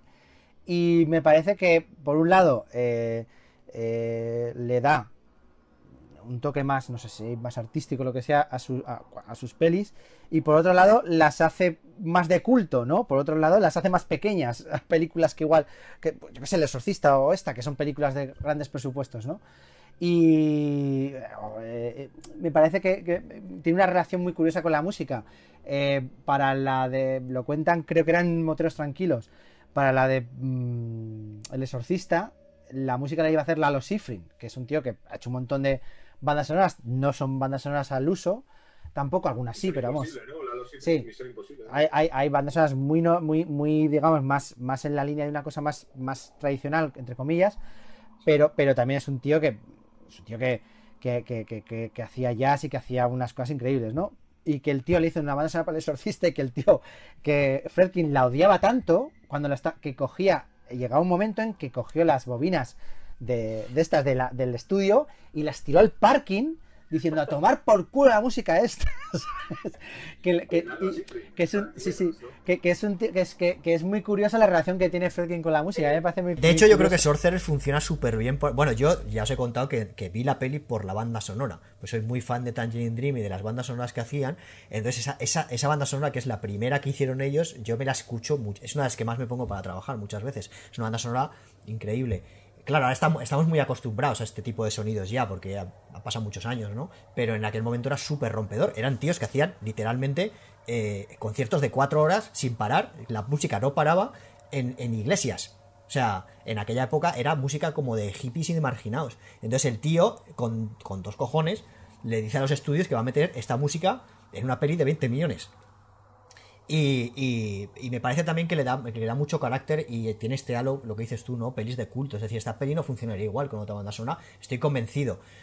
Estoy convencidísimo. Y de hecho, de, hecho, además es muy interesante porque en la película yo creo que la banda sonora no está muy bien explotada. Si tú te fijas, la película está usada de una manera muy puntual, pero además la música entra y se va. Pero súper rápido además. O sea, y dices, tío, déjala, deja que arranque por debajo, déjala que colee bastante más, ¿no? Que esta, esta música se puede, se puede, las puedes poner por debajo y no molesta. Y no, no, está como muy pum pum, entro y salgo. Además está como muy marcado en momentos muy, muy concretos donde la película necesita cambiar a lo mejor de, de tesitura. Eh, por ejemplo, nada más entra en la selva, entra. Eh, cuando van a construir el, el camión, entra. Luego, sitios como la, la secuencia de, mm, del, del, del camión en el puente, no hay banda sonora en absoluto. Está completamente seca. Que está guay, que funciona así. Pero que tiene, un, tiene una manera de, usar la banda sonora que de hecho a Tangerine Dream cuando la vio, eh, la leyenda cuenta que no les gustó nada. Porque era en plan, te acabamos de mandar 90 minutos y has usado 5. Teniendo en cuenta que en el 77 la gente que fuera a ver la película le saldría eso, fliparían en colores, porque es una cosa muy extraña. Y de hecho creo que marca mucho el tema principal, ¿no? De la película, que se repite, ¿no? En- cuando entra y cuando termina. Eh, le da un halo también muy misterioso. Y me parece fascinante que le hicieran sin haber visto la película. O sea, eso me parece también ya fascinante. Sí. A mí me gusta la idea de, de que entre justo en Jerusalén. Me recuerda un poco también a, al Expreso de Medianoche, que es de Moroder, que también es electrónica y tal. Y justo en el Zoom, ¿no? Entra ahí la música y dices, ostras, tío, qué bien, ¿no? Cómo te lleva, te lleva, ¿no? Te, te- es, es muy inmersiva. Y luego me gusta también eh, cómo arranca justo con la cara de- del colega, ¿no? Del colega que va, que va finalmente a, terminar con la vida del protagonista. Que por otro lado, dices, vale, no, ese repunte que hace la música en plan chan chan y pero el, el espectador se está preguntando hostia este tío quién coño es no en, lugar de oigo es el amigo no eh, anagnórisis es el amigo dios mío qué traidor no eh, ahí ya la peli sin embargo la, la música entra precisamente para remarcar la, la traición del amigo no pero pero sí sí que sí que es muy es muy, muy inmersiva. A mí me gustan muchísimo y, y, bueno, son grandes músicos, ¿eh? O sea, se nota, se nota que no es, no es un loco con un sintetizador, ¿no? No, no. eh, los, los tíos, además, que es que luego eh, eso fue, fue la puerta abierta a muchas otras películas. Y em, vamos, si le gusta a la gente de bandas sonoras, yo les recomiendo que se, que, se- que busquen Tangerine Dream Soundtracks. Porque además es inabarcable, han hecho 50 o 60, pero es que era un grupo tan prolífico que han hecho, creo que hay como ciento y pico discos en toda su carrera. Es una barbaridad. Cuando digo loco con sintetizador, no me refería a John Carpenter, ¿eh, chicos? O sea, que bueno, eh, vamos, a, vamos al momento recomendaciones, ¿cómo lo veis? Bueno, yo, yo os quería preguntar antes cuál es vuestra peli favorita de Fredkin. Para mí, El Exorcista eh, es la que más he visto. He visto muchas veces, muchas veces esa peli y, yo creo que yo creo que tendría que decir ella, esa. Sí que me gusta mucho también la, la peli de Al Pacino, eh, La caza, ¿no? O a la caza, ¿no? El Cruising, esa me, me encanta y me parece que es la vuelta de, de, Friedkin, ¿no? A- puro, el Friedkin puro, ¿no? Pero si tengo que elegir, yo creo que me quedo con El Exorcista. A mí mi favorita, eh, o sea, mm, es, eh, no tengo dudas, Vivir y Morir en Los Ángeles. O sea, es una película que me vuelve absolutamente loco. Me, me- vuelve loco. Pero es que tengo que reconocer que de Fredkin tengo debilidad por él. O sea, me enca- Friends Connection es una cosa que me, me- me apasiona. Eh, mm, eh, a la caza me gusta muchísimo. Tuve la oportunidad de verla en Cannes, una remasterización presentada por él. Y estaba, estaba fabulosa. Y es que me gustan hasta Jade o Rampage o, esta de la tutora, que es malísima. O sea, es que me gustan, no sé, o sea, me, gustan sus pelis, ¿no? O sea, hasta las malas me gustan. A mí, a mí pasa lo mismo que a ti, por ejemplo, Jade, que es una peli más noventera no puede haber, ¿vale? Es una peli que está guay, a mí me gusta, me gusta mucho esa película. Yo si tuviera que elegir una estoy contigo, o sea, yo estoy entre dos, estaría entre Sorcerer y Vivir y Morir en, en Los Ángeles, pero si me tengo que quedar con una es Vivir y Morir en Los Ángeles. Vivir y Morir en Los Ángeles es una película es que, es, es que también es un poco inarrable, porque es que además tiene un giro en el. que no voy a contar para el que la quiera ver, pero tiene un giro en el. en el. en el segundo. en el. cuando va a pasar el tercer acto, que te deja completamente bola y dices, ¿y ahora qué narices va a pasar? No, Pablo, o sea, es así, dices, ¿qué, qué, has, ¿qué, has, hecho? O sea, ¿cómo puede ser? Es un poco como Sorcerer, dices, ¿qué va a pasar a partir de ahora? Entonces, eh, además la banda sonora es muy, es la de One Chung esta, que es, no tiene nada que ver, es otro rollo súper ochentero, más cheesy no puede haber, o sea, es súper hortera la música, pero, pero es una peli que a mí me apasiona también. Yo estoy como tú, Carlos, yo, el exorcista. Yo creo también porque la he visto muchas veces y, y no me puedo imaginar en el 73 esta película lo que debió suponer. Curioso porque eh, Roy Seider, que recibe la llamada para, para, ser el prota de Carga Maldita de Fredkin, eh, Seider le reprocha que no le diera el papel del padre Carras que es un maravilloso papel que lo hace maravillosamente eh, Miller, ¿no? Este que es también un eh, dramaturgo, ¿no? Eh, Jason Miller, ¿no? Que estuvo un tiempo también haciendo, haciendo pelis en España. Yo quería acabar, antes de, antes de las recomendaciones, quería acabar diciendo que creo que todavía, o sea, el Blu-ray sí que ha recuperado de alguna manera a Friedkin para el público de ahora, ¿no? Pero todavía falta, porque si nos fijamos, la biografía de Friedkin está en inglés. Anda que no hay biografías de Spielberg, de Lucas, de Kubrick, pero hay una serie de directores, los hemos nombrado, ¿no? Bogdanovich, Chimino, yo metería también a Halashby, también metería a Robert Altman, toda esta gente, ¿no? Arthur Penn, que están completamente desdibujados y son magníficos, ¿no? Pero en el caso de Friedkin, solamente por tres o cuatro películas, merece muchísimo más. Lo que pasa es que creo que efectivamente es un tipo que todavía siguen odiándolo, ¿no? Porque a lo mejor porque está vivo, igual es la única razón. Claro, los cuatro protagonistas, los actores, están muertos y él sigue vivo. Pasa. Al final, y se casó con Jean Moreau, ¿no? La musa del cine francés de la nueva ola, ¿no? Es que... Va, ha, tenido, ha tenido una vida sentimental alucinante. Ahora está casada, casado con Claire Lance, no sé, no sé qué, que es una super ejecutiva. De, no me acuerdo qué estudio es. O sea, que es alucinante cómo es capaz de, de prender fuego a la habitación y cruzarla sin quemarse. Es una cosa que me vuelve loco de él. Yo creo que aquí hablamos mucho, o sea, lo, que pretendemos aquí es hablar de, pelis imperfectas, ¿no? Pero claro, también son directores completamente imperfectos. Creo que, que, tiene un poco también este espíritu, un poco también que hablamos de anteriormente también de Carpenter, ¿no? Un tipo que está completamente ya denostado, como, como de que le dan la espalda y que falta todavía que lo reivindiquen. Porque creo que Friedkin es muy reivindicable porque es que ha hecho películas maravillosas. Es verdad que, claro, la gente se queda con lo último que ha hecho, entonces como en los últimos, desde los 90 no ha hecho pelis muy relevantes o con grandes éxitos, sino pelis menores, la gente no se fija en él. Pero un tío que te ha hecho French Connection, El Exorcista, Sorcerer y Vivir y Morir en Los Ángeles, o sea, ¿qué más quieres? O sea, méteme en la tumba ya, ¿sabes? ¿Qué nos recomiendas, eh, Víctor? ¿Qué recomendarías para, para, ver que podamos ver en plataformas o, o donde sea? Eh, el otro día recomendé una serie de filming. Hoy voy a recomendar otra serie que me gustó mucho que se llama Vernon Subutex que está es la historia de un, un tipo que tiene una tienda de discos muy conocida en París en los años 90 y la tienda por la caída un poco del, de la industria discográfica pues eh, digamos que él empieza con un desahucio y lo desahucian de su casa que vivía encima de la tienda y él va de casa en casa busca, o sea, recuperando un poco los personajes de esa época que ahora tiene unos como 50 años y no tienen desperdicio. Y es, está basada en un libro que tuvo mucho éxito en Francia, que se llama también Berno Subutex. Y la serie está muy bien. O sea, está en filming, ha hecho una primera temporada. Y bueno, para mí, que le guste la música de los años 90, 80, actual, la banda sonora en, en, también en, está en filming. Y también han hecho incluso, porque hay imágenes, no muchas, de los años 90, de, de cómo era la tienda al principio, y han hecho una playlist con los discos que supuestamente se venderían en esa tienda, que es genial también. Es todo punk, es todo música alternativa. De, y, bueno, la, la serie para mí me encantó. Vamos, Yo voy a recomendar que la gente que quiera investigar un poco más en Friedkin se vea Vi- Vivir y Morir en Los, en Los Ángeles, porque es una peli tampoco es, no es muy conocida y la gente no la, no la conoce tanto y se la recomendaría. Y luego le recomendaría también, porque la música es muy importante, como hemos hablado en, en Friedkin, la banda sonora de Firestarter, que es la peli que hizo mm, eh, Drew Barrymore, que es una niña que puede quemar cosas, ¿vale? Y la banda sonora es que es de Tangerine Dream y es también eh, brutal. La banda sonora de Tangerine Dream de Sorcerer y de Firestarter igual son las bandas sonoras que más escucho para trabajar. Muy recomendables. Pablo. Eh, pues dos cosas. Un documental que no, que no he encontrado muy por ahí, pero hay, se puede encontrar partes por ahí por internet.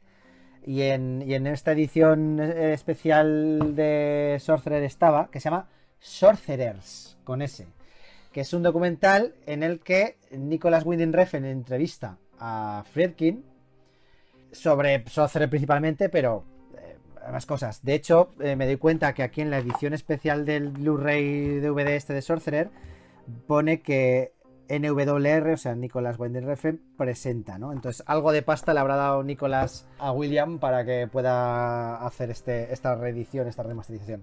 Es un documental que está muy bien, sobre todo porque hay una parte que Winding Refn se vuelve loco y empieza hablando, eso se ha visto por ahí, está en Twitter, está, está- habla de sus películas como obras maestras y que Fred King empieza a decirle que está como un cencerro, o sea, está muy bien, ¿no? Entonces el documental es difícil de encontrar entero, hay partes que se pueden ver por ahí, pero se puede ver. Y luego yo me estoy leyendo, no lo he acabado, este libro de, de Siré de Fez que se llama Reina del Grito, que está en Blackie Books, que está muy bien. Se llama Un viaje por los miedos femeninos y, es como un- una visión muy personal de las películas de terror que han significado para ella cosas en su vida, ¿no? Vista desde, no solamente desde un punto de vista cinematográfico, sino desde un punto de vista humano. Yo voy a recomendar una. eh, recomendé eh, un CD la vez pasada de Marilyn Manson. Ahora voy a, voy a ser un poquito más, más, eh, más moderno. Y voy a recomendar una película que, me encantó. Es una película que está en Netflix. Que se titula Disobedience. Es una película que la recomiendo en contra de una serie que se ha hecho mucho más famosa en Netflix, que es Unorthodox. Las dos tienen, digamos, una trama muy similar, o por lo menos un trasfondo muy similar, que es el mundo de los judíos ortodoxos. Pero Ano- Unorthodox es una, es una serie, una miniserie muy mal rodada, muy mal interpretada, con mucho dinero y que ha sido un éxito increíble.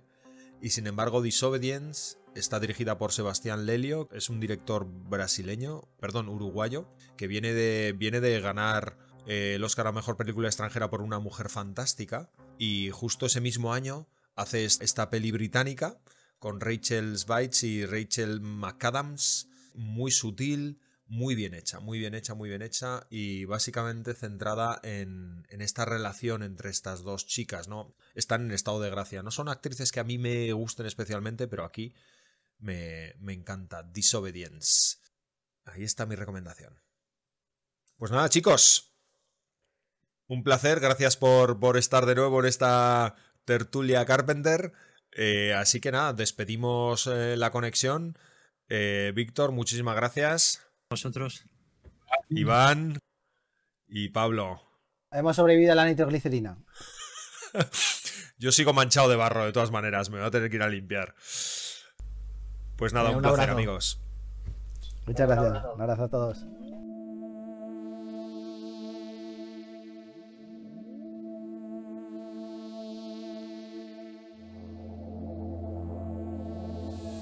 Y hasta aquí la tertulia Carpenter de hoy. La sintonía inicial lleva por título Blood Rage. Y ahora estás escuchando Una Note Violenta. Ambas composiciones de nuestro admirado Nightcrawler. Es hora de que nos limpiemos el barro y nos curemos las heridas por habernos acercado demasiado al fuego. Es posible que nuestro vehículo no arranque y no podamos regresar a casa. El peligro es nuestra sombra. Soñamos con la jungla. Nos vemos en la siguiente sala vacía disfrutando de nuestras películas imperfectas, de directores imperfectos, como William Friedkin.